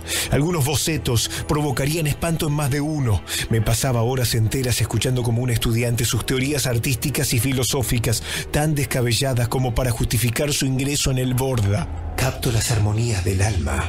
Necesito fantasmas, de seres que se vayan asomando al infierno y entendiendo el significado de lo que ven. ¿Qué saben los posmodernos de la vida y de la fuerza que hay detrás de ella? Vos le das el nombre de fantasía a la brujería de misiones, pero mi tatarabuela podría haber contado algunas cosas. La colgaron bajo la mirada santurrona del obispo inquisidor Alfredo Santander. Santander. Ojalá lo hubieran hecho víctima de un hechizo o sorbido su sangre gota a gota. Hace mucho decidí que debía pintar el horror de la vida, así como se pinta su belleza. Pude alquilar un lugar para un edificio semi derruido. Pinto en la bodega. Si querés te llevo esta noche. Creo que te van a gustar los cuadros. Podemos tomar el 95 hasta allá. Bueno, después de aquella arenga, creo que habría acompañado a Salas al mismo infierno o a reconquistar las Malvinas. Caminamos por Recoleta para tomar el colectivo hasta que bajamos en Carrillo y Bransen, frente al Borda. Hicimos seis minutos más a pie, por estrellas callecitas mal iluminadas, hasta que llegamos a otra, que llevaba hasta una puerta, mucho más vieja. Bueno, llegamos. Aquí es. Acomódate, como si estuvieras en tu propia casa, me dijo al ingresar. El lugar era más lúgubre de lo que pensé. Es imposible describir a los cuadros que había ahí. La locura y la monstruosidad que tenían son imposibles de explicar. Y aquella expresividad que Salas solía darle a los rostros macabros. Había seres con una espantosa cercanía entre lo humano y lo canino. En un cuadro había una bruja muerta cuyo rostro parecía el de esos bichos repugnantes. En otra pintura había una familia reunida cuyos rostros, excepto uno, mostraban bondad, en tanto que el otro reflejaba la locura. Salas había pintado esa otra cara muy semejante a la suya. Para entonces, Salas había encendido una lámpara en la habitación contigua y mantenía la puerta entreabierta. ¿Querés ver mis estudios modernos? Yo no fui capaz de decir nada. El espanto y la emoción me habían dejado mudo. Quitó el trapo de varios cuadros de aquella habitación que había al lado. ¡No! grité cuando estaba cruzando la puerta y vi lo que había allí. Tuve que tomarme del marco de la puerta para no desplomarme. La primera habitación contenía un montón de vampiros y de brujas, llenando el mundo de nuestros antepasados. Pero a la que yo ahora entraba, reflejaba el horror morando en nuestra propia vida cotidiana. ¿Cómo podía pintar eso aquel hombre? Debía ser un enemigo de la vida para sentir placer así en la degradación y en la tortura de cerebro y de la carne. Cuando veía los cuadros, veía con total realismo a los propios demonios y me daban pánico. Salas pintaba de un modo natural, sin trucos. No era la libre interpretación de un artista, sino una imagen del mismísimo infierno. Reflejaba un mundo de horror que él veía en su total plenitud, meticuloso, casi científico. Eso no es todo. Pasemos a la bodega me dijo Salas. Bajamos a la bodega, donde estaba el verdadero estudio. Salas enfocó su linterna iluminando un gran pozo que sobresalía del nivel del piso. Si no me equivocaba, se trataba de una obra del siglo XIX. Según me dijo, era una abertura que conectaba con la red de túneles de la época del restaurador, el brigadier general Juan Manuel de Rosas. Pasá. Aquí hay algunas telas todavía sin terminar. Me dijo. Vi una cámara de fotos y le pregunté si la usaba para pintar. Fotografío escenarios para los fondos de los cuadros. Respondió como sacándose la pregunta de encima. Esos repelentes bocetos tenían algo inquietante. Tuve que realizar un enorme esfuerzo para no irme corriendo del miedo. En ese momento me mostró una tela. Por Dios, el cuadro mostraba a un gigantesco monstruo tan realista que en cualquier momento podría soltar a la presa que devoraba para ir por nosotros. Pero lo que daba miedo no era el rostro canino con sus orejas puntiagudas, ni el hombre tétrico que estaba parado a su lado mirando. Era la técnica, esa técnica perfecta y siniestra. Supe que solo rompiendo las leyes de la naturaleza podía pintar algo así, sin un modelo vivo. En una esquina había algo enganchado con una chinche. ¿Qué es ese papel arrugado? Pensé. Lo desenganché. Estaba por alisarlo y echarle una mirada cuando vi que Salas se sobresaltaba violentamente. ¡No! Oigo ruidos. Quédate acá. Quedé paralizado por unos segundos. Oí grandes pisadas y resoplidos y gruñidos, como los de un perro grande. Pensé en aquel ser del cuadro y me cagué de miedo. Escuché varios disparos. Salas volvió enseguida con un revólver en la mano. Ratas de mierda. ¿Quién sabrá lo que comen en esos túneles viejos que se comunican con el Borda? Me miró, sonrió y me dijo, esto le da un poco de color a la cosa, ¿no?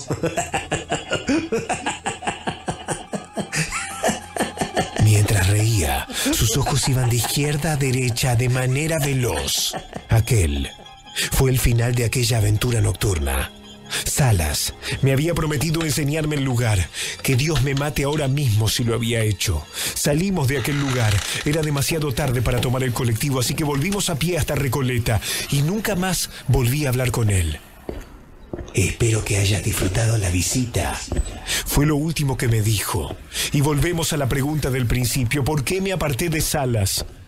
No fueron los cuadros que vi en aquel lugar. Cuando nos separamos y llegué a mi casa, intenté dormir, pero no pude. Seguía aterrorizado. Escuchaba ruidos afuera. No sé si estaba imaginándolo, pero parecía el de un gigantesco animal. Dos días después, hacia las cuatro de la mañana, volví a escucharlo. Cuando miré por la ventana del patio, ahí estaba. Era el terrorífico ser canino del cuadro. Las babas caían entre sus colmillos, los ojos rojos iluminaban la noche. No medía menos de tres metros de alto y noté algo terrible. En el cuadro pensé que era Salas, dibujado, el que miraba al monstruo, pero no. El monstruo era Salas. Yo lo estaba viendo con mis propios ojos. A la mañana siguiente, encontré en uno de mis bolsillos del pantalón el papel arrugado que estaba prendido a aquella espantosa tela de la bodega. Lo que yo pensé en ese momento que era una fotografía de algún escenario que quería reproducir como fondo para aquel monstruo. Cuando iba a echarle una ojeada al papel, me lo metí en el bolsillo sin darme cuenta por los tiros. Ricardo Esteban Salas, el artista plástico más grande que conocí y el ser más detestable del mundo, el viejo Márquez, tenía razón. Salas no es humano. ¿Te acordás lo vivos que eran los cuadros? Aquel papel no era una fotografía para hacer los fondos para nada, era el modelo que estaba utilizando, ¿saben? Esa foto había sido tomada a aquel mismísimo monstruo, a sí mismo. Salas me buscaba por robarle aquella foto. Ahora creo que es tarde. Salas está parado bajo un farol, a dos metros de mi casa cada noche desde hace una semana. Esta noche oí ruidos en el techo que solamente vendrían de un ser como de aquel, del cuadro de Salas. O sea, del mismísimo Salas. La mayoría de las personas tienen miedo a la muerte porque aún no han hecho nada en su vida. Yo tengo miedo de morir por lo que hice aquel día en aquella bodega junto al cuadro de Salas. Puedo escuchar cómo rompe el techo del baño y ruge mi nombre. Te envío ya mismo este correo. Ojalá no sea demasiado tarde. Y el correo llegó. Y la dirección también existe. Pudimos averiguar que fue enviado desde el mismísimo Borda por un interno que es el más querido, que tiene el permiso de usar internet para googlear y para escribir. Nosotros mismos confirmamos que el protagonista de esta historia existe, que sigue internado, que los enfermeros hablan de delirio místico, pero él está convencido de que esta historia que nos narró es real. real, real. Te toca a vos creer o no. Bebana. Bebana. Bebanaradio.com. Bebanaradio.com. Porque ahora, tu celu es la radio.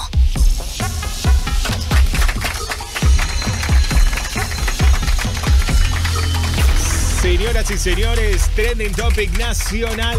Volvimos, volvimos, ¿eh? Esto no tiene connotaciones políticas ni nada de eso. No, no, no, por favor, no, no lo lleven para el lado político. Volvimos, estamos muy contentos de haber vuelto al aire.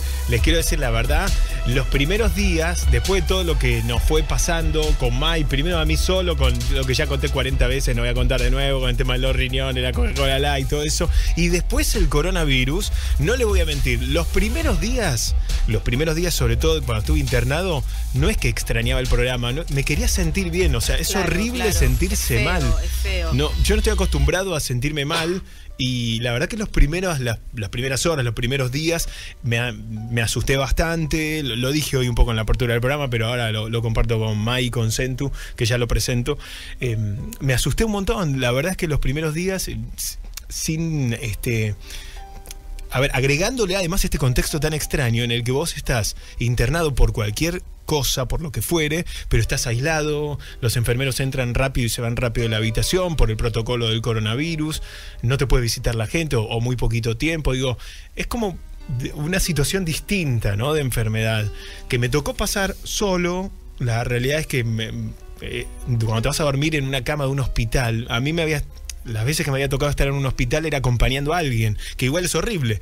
Es peor siendo vos el protagonista. La verdad es que no importa lo que sea, un dolor de cabeza, una gripe, coronavirus, en mi caso era algo de los riñones que era como bastante grave, yo no sabía qué podía pasar, y además todo enchufado, te sacan sangre a cada rato. Esa situación me dio miedo, pero también me dio confianza. No lo, no lo puedo definir, ustedes van a decir como estos dos sentimientos tan contradictorios. Tuve miedo, pero el miedo se transformó en confianza.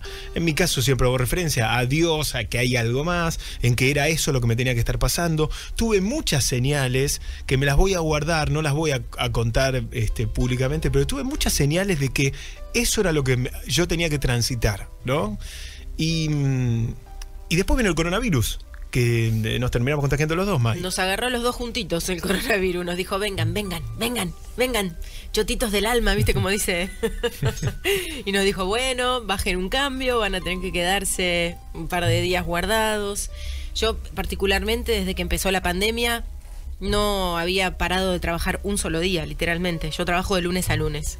Eh, siete días, eh, seis días en el canal, un día en la radio. Y de verdad no había parado ni un solo día. Y, y la primera reacción de mis amigos en el canal fue, ¿viste que vos querías un descanso? Y dije, puta madre, me escuchó mal el universo, me interpretó mal. ¿Viste que siempre hablamos de eh, cómo dar el mensaje al universo? Bueno, evidentemente yo lo di mal porque yo estaba, che, quiero tomarme unos días de descanso, necesito vacaciones porque estaba quemada, de verdad ya estaba quemada. Y, y la primera gastada general fue, bueno, mira, vos querías un descanso, toma coronavirus. Claro. Em, yo le pongo mucha onda, mucha, mucha onda. Trato de reírme, trato de todo lo que publico en las redes que sea un, mensaje positivo, porque sé que la gente se, se preocupa mucho y todos sentí mucho, mucho amor de no solo de mi familia, sino de mucha gente conocida y no conocida también de redes que con un mensaje amoroso de por lo menos un cómo estás se hicieron sentir presentes. Así que eso por un lado. Y por el otro sí es verdad esto que decías vos. Em, yo no lo transité en un hospital, pero lo transité en casa. Gracias a Dios no tuve síntomas eh, graves. Sí, em, lo que me pasaba era la incertidumbre a la hora de irme a dormir. De hecho, no me podía dormir pensando en cómo me iba a levantar al otro día.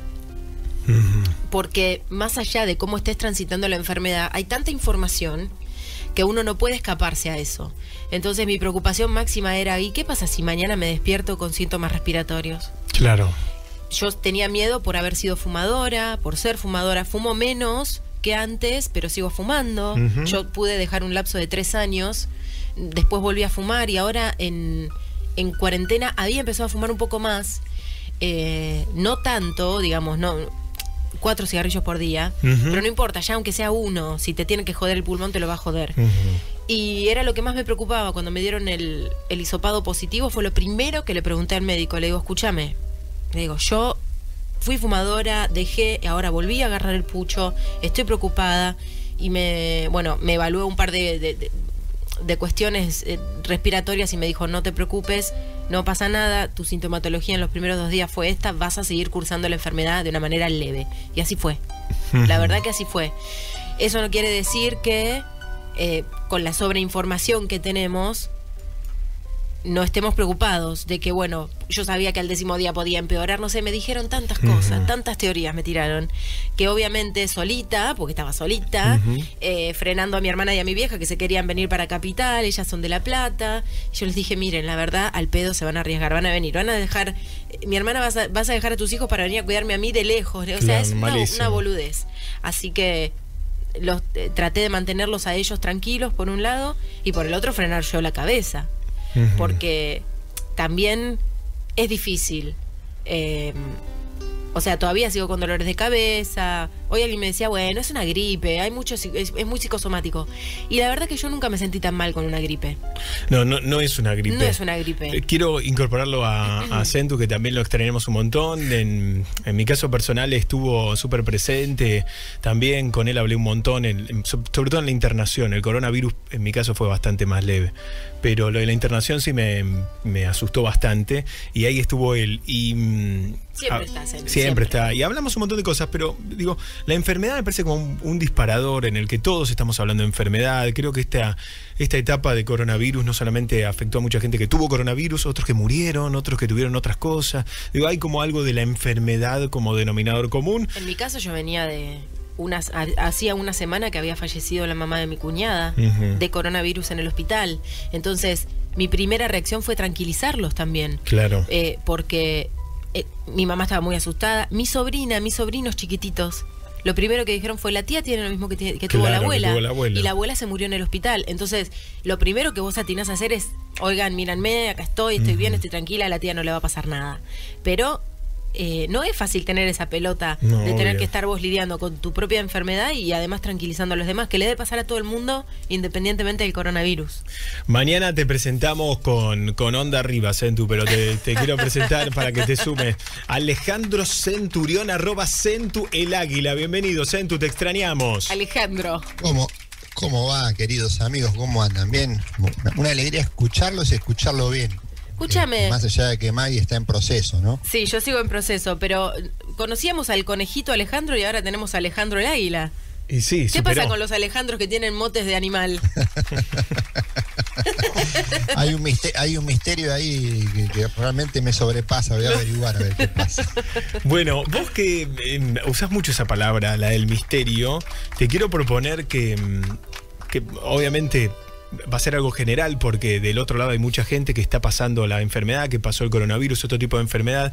Y vos decís algo siempre que me parece muy interesante, que tiene que ver justamente con el misterio del proceso de salud, que para cada uno de nosotros es distinto. Y todo lo que, lo que uno transita cuando está enfermo, digo, desde la enfermedad, cuando la enfermedad te imposibilita moverte, salir, tenés que estar sí o sí en una cama, en algunos casos más graves que otros, pero en general te deja quieto y te obliga a verte, ¿no? Digo, el proceso de enfermedad o, de volver a la salud eh, es mucho más profundo que solamente lo que te pasa físicamente, ¿no, Centu?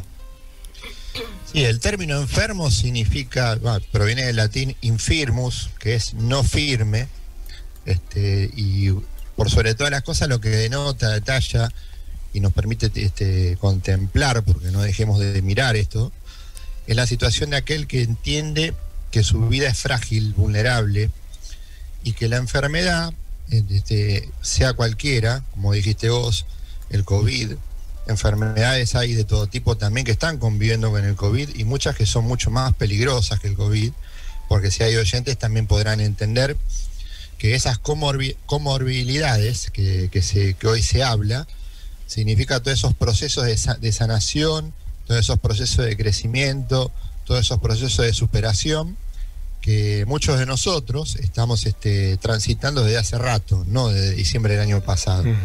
Y se le suma ahora esta situación universal. Bueno, eh, a lo que vos haces alusión, Héctor, el proceso del misterio de la enfermedad es un proceso de mirada más, más, más íntima, más personal y, más desnuda. nos deja de cara a cara con algo que es una verdad que nosotros traemos desde el momento que nacemos y que muchas veces la vamos tapando o le vamos poniendo un montón de- de- a ver, como te diría, de, de, ava- de- de paravalanchas a todo lo que la vida nos va trayendo para justamente, digamos, para no, para no permitirle que, no, que nos desestabilice. Y, y justamente la situación a la cual la enfermedad nos, nos enfrenta es a la de la vida misma. Nosotros nacemos con la eh, certeza que algún día esto se acaba, que nuestra historia en, en este mundo se acaba, esta historia. Después está lo que cada uno quiera seguir considerando, la continuidad de la historia como será, de una mirada religiosa, de una mirada natural, universal, pero la enfermedad es un proceso de sanidad, de verdad, y por supuesto, como dijiste vos, de renovada confianza. De hecho, cuando nosotros atravesamos la enfermedad, tenemos que volver a empezar a caminar como si fuéramos chicos, porque una de las primeras cosas que sucede es esta sensación de, querer estar reposando y a la espera. Y justamente el reposar y a la espera nos hace estar, digamos, este, con la necesidad de que otros nos atiendan, que otros no- nos complementen en las actividades que solemos hacer y que tenemos que suspender. Y tenemos que volver a empezar a caminar. Tenemos que volver a tener esa experiencia fundante en nuestra vida que es empezar a movilizarnos por nosotros mismos, a recobrar fuerzas, a mirar el horizonte y volver a, a lanzarnos a vivir. Todo esto y muchas cosas más sucede cuando entramos en este misterio que es la enfermedad, que es lo más propiamente humano. No sé si hacías referencia a esto. Sí, sí, digamos, porque me parece que si solo nos quedamos en lo que nos duele físicamente, nos perdemos un montón de aprendizaje por un lado y después de también es una oportunidad. A ver, yo decía que sentí miedo primero y después confianza. Cuando logré cambiar el switch a, bueno, estoy acá, yo no puedo hacer nada más que pensar positivamente, rezar, estar tranquilo, cerrar los ojos, vo- volar con mi imaginación, no sé, o sea, trataba de estar despierto, cómodo, acostado, porque no me podía mover, tampoco tenía un suero en una mano, de la otra tenía muchas, me habían sacado mucha sangre, entonces me dolía todo el brazo. Digo, bueno, me quedo quieto físicamente, pero mm, confío y, y trato de encontrar la oportunidad de qué es esto, de, a dónde está la oportunidad, con quién me tengo que reencontrar, conmigo, con mi vida, tengo que cambiar cosas de la vida que tengo con distinta gente, incluso valorás un montón al personal de salud, siempre los valorás, pero cuando te toca a vos ser el enfermo, lo ves desde otra perspectiva, ¿no?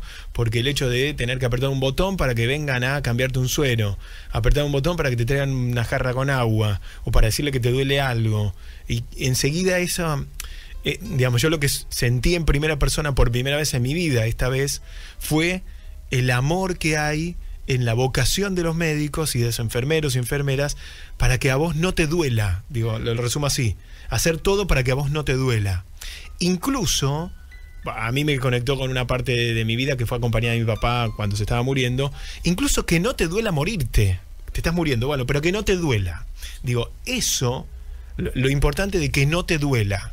¿No? A mí me pasaba, no sé, me daban protectores gástricos, por, todo por vena, porque no podía comer nada, ¿no?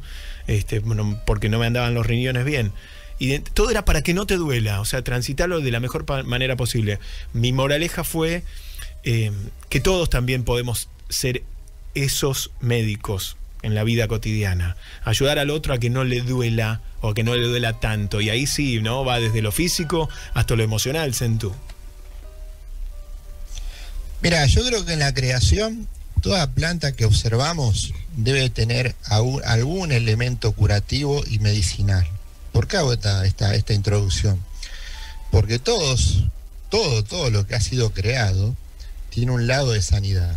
Y nosotros también, toda persona tiene este, una parte médica, por así decirlo, no médico en el, en el sentido que- que- que- que designamos cuando hablamos del profesional de la salud, pero sí médico en el sentido de aquel, aquella situación, dimensión, empatía o capacidad natural que todos tenemos para poder también, aunque sea llevar un vaso de agua con la palabra, porque estamos hablando con una metáfora, aquel que está necesitando ser contenido, acompañado, sostenido o por sobre todas las cosas escuchado.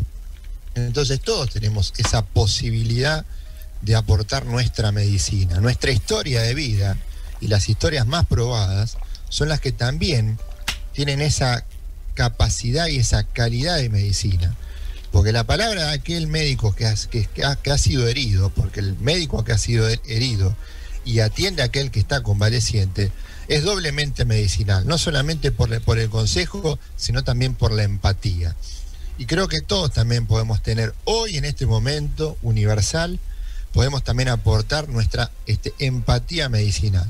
Y creo que eso forma también parte de este misterio del proceso de salud. Proceso de salud de acompañar a otro o proceso de salud de también de autogenerarnos a nosotros mismos y en la circunstancia que nos rodea elementos de vida y de salud, como bien vos decías en el ejemplo que tan perfectamente este, esgrimiste. No sé si, o sea, no quiero abrir una nueva ventana, ¿no? Pero a mí lo que me pasó es, a ver, porque vos podés estar en el lugar del cuidador o del cuidado.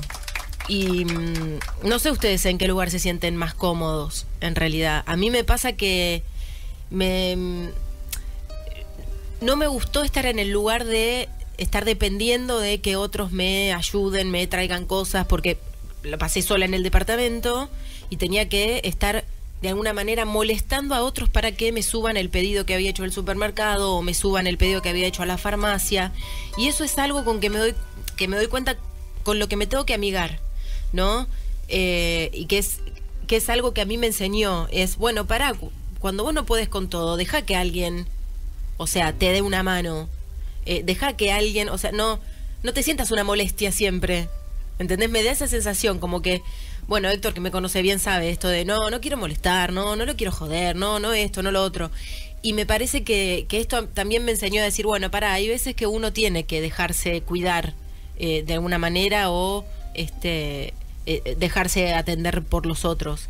Entonces, me parece también que, que, es un tema para que hablemos otro día, este lugar de, bueno, el, el cuidador y el cuidado. Bueno, mira, eh, es un misterio que, tiene una retroalimentación. Nadie puede contener si no es contenido, primero y principal, ¿no? Que es también lo que le sucede a los psicólogos y que le sucede a los buenos curas, no a los, no a los, este, a los chatos, a los mediocres. Y por otro lado, cuando a mí me pasa lo mismo que a vos, May, eh, miro una revista de Marvel y digo, los héroes los están dibujaditos acá, pero no existen estos héroes. Claro, claro. O sea, trato de tomar conciencia de eso y me doy cuenta que en mi condición es que no soy héroe, sino que soy persona y que también tengo que permitir a quien me rodea, a mi esposa, a mis hijos, a mis familiares y a mis amigos, eh, brindarme ese vaso de agua. Pero, porque ya no es solamente por un bien para mí, es un bien para la persona que también se preocupa por amor en querer por lo menos estar cerca. Tal cual. Y es también este, mira, fíjate vos, es también una forma de contener a quien te contiene, si lo pensás de otro lugar. Totalmente, sí.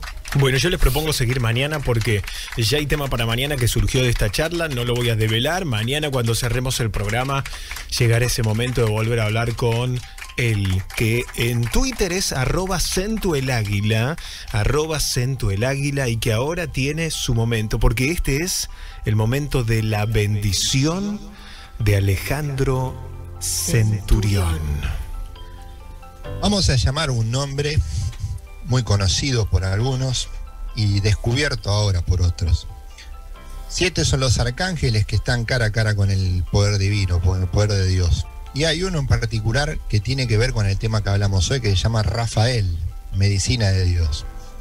Te pedimos, Rafael, que acompañes a todos, que nos acompañes a todos en los procesos de fragilidad, de vulnerabilidad, en los procesos de dolor, en los procesos de búsqueda de paz, en este proceso permanente de toda la raza humana, de cada uno de los miembros de esta familia humana, que es el proceso de la salud. Salud del cuerpo, salud del corazón, salud de la historia, salud de mi familia, salud de mi identidad, salud de todo aquello que no me permite ser quien soy y que muchas veces en el dolor o en la ausencia, en el vacío, me imposibilita verme con claridad. Como dijo bien hoy Héctor y también apuntó Mike, que podamos recibir esa gracia que nos permita ver al otro como un, como como un hermano y que nos permita también descubrir en nosotros todos esos elementos medicinales para poder levantarnos, caminar y triunfar en este, en este hermoso proyecto que es vivir. Señoras y señores, la bendición de Alejandro Centurión. Chicos, llegamos al final. Volvimos, loco. Ahora sí, toquemos madera, no nos vamos nunca No, más. ya fue, puta, mira. ya está. Fueron las vacaciones No, esto. aparte, este año nos trajo todo lo que. Yo, yo dije, ¿no? ¿Viste? Cuando se lo cuento a un amigo me dice, ¿un quilombito más no querés, Martorelli? ¿No te querés? ¿Eh? Porque venía de una semana de seguidillas que todos los días con cara de orto en el canal. Entonces, ¿qué te pasa? No, se pasó esto. ¿Qué te pasa? No, pasó lo otro. ¿Qué te pasa? Y, cu- Ya está, ya, cuando me contagié de coronavirus me dijo, ¿no? ¿Querés un quilombito más? ya cubrimos la cuota de quilombos de, de quilombo del año. Ya de está, quilombo basta, del año que veníamos, tengo que ser, tengo que ser agradecida con que había, hacía mucho tiempo que no tenía quilombitos de, de alguna índole eh, graves, ¿no? Digamos. Así que, bueno, la vida compensó. La vida compensó ahí un poquito. Espero que, que no, no siga. Mira, y te voy a decir algo, y para cerrar ya. A todos nos pasó algo este, fuerte este año. Centu Sí. también venía de, algo- Sí, de una este pérdida. año, Digo, sí. Tratemos de ponerle la mejor onda a todos, ¿no? Y, y tratar de seguir. Acá estamos de nuevo. Tal para cual. nosotros venir al- a hacer el programa eh, es algo lindo, es un, es un reencuentro con ser chicos, con jugar, con divertirse, con asustarse, con hablar en serio, con todo lo que en definitiva a todos nos revitaliza. A ustedes que escuchan, porque yo los he leído en todos estos, estos días, y, y a nosotros que lo hacemos también. Así que, Centu, si te parece, mañana volvemos, ¿eh? Sí, como no, con mucho gusto y desde ya acompañando con, con la alegría de, de poder comunicar vida, porque nosotros somos grandes comunicadores de vida, tanto la, la familia de Banera como ustedes que son el padre y la madre de esta comunidad. Mirá lo que es la vida. Acaba de decir, acaba de cambiar el significado completamente para mí de la expresión mucho gusto. Con O sea, mucho gusto, encima te está delirando, Me está porque vos no tenés olfato ni gusto no ni nada. el gusto ni olfato. Ayer quise comer el helado O sea, de yo me, Lola. yo me puedo cagar acá encima en el estudio que vos no olés nada. Pues la verdad, no huele nada. No huelo nada, chicos. No, no, no voy a entrar en el terreno escatológico, pero el, el único momento que agradezco no tener olfato es en el baño. Pero, digo, aparte. Pero de puede ser eso, complicado eso, ¿eh? Pero puede ser complicado. Pero digo, bueno, voy a empezar a decir con poco gusto en vez de con Con mucho poco gusto. Con poco gusto los espero mañana. Con poco gusto y poco olfato, mañana volvemos, chicos. ¿eh? Si somos muchos, no somos pocos, pero estamos todos locos. Chau, hasta. Bueno, qué cagazo con las historias, ¿no? Ahora sí, después de la bendición de Centu el Aira, a dormir que mañana hay que levantarse temprano. Y abrazame hasta que vuelva Héctor, por favor.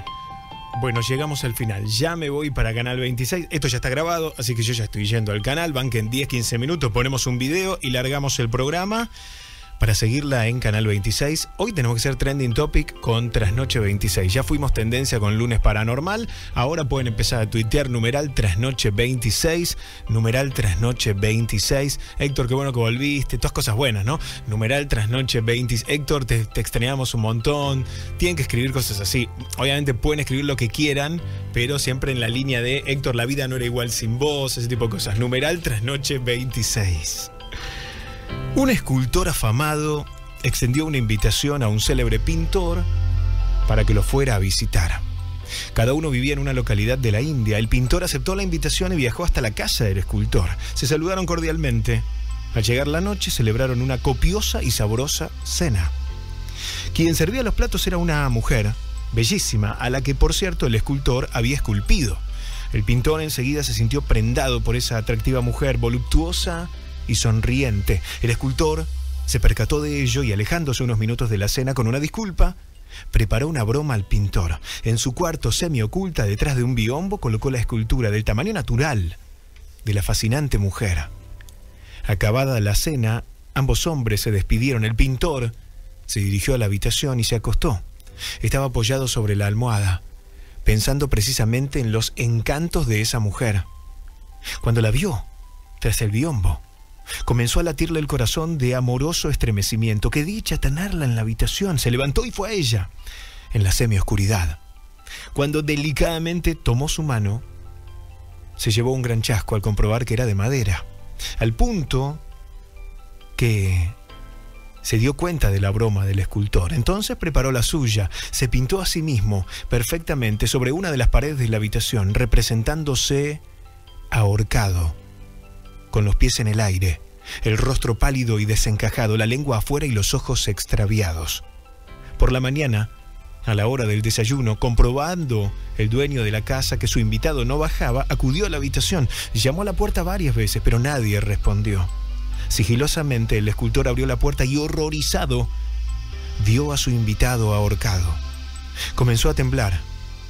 En ese momento, sin querer prolongar más la agonía del escultor, el pintor salió del armario en el que se ocultaba y ambos hombres se abrazaron efusivamente. Comentaron que del mismo modo que se habían engañado, la vida era una engañosa función. Decidieron dejar fama, honores y actividades sociales y se hicieron renunciantes en el Himalaya, dispuestos a seguir la senda de la autorrealización hasta el final de sus días. El maestro dice, en la ruta de la vida, los engaños suceden. Dirigí tus pasos hacia la meta espiritual, porque cuando llegue el momento de dejar esta envoltura física, solo contarás con el Dharma, la enseñanza mística.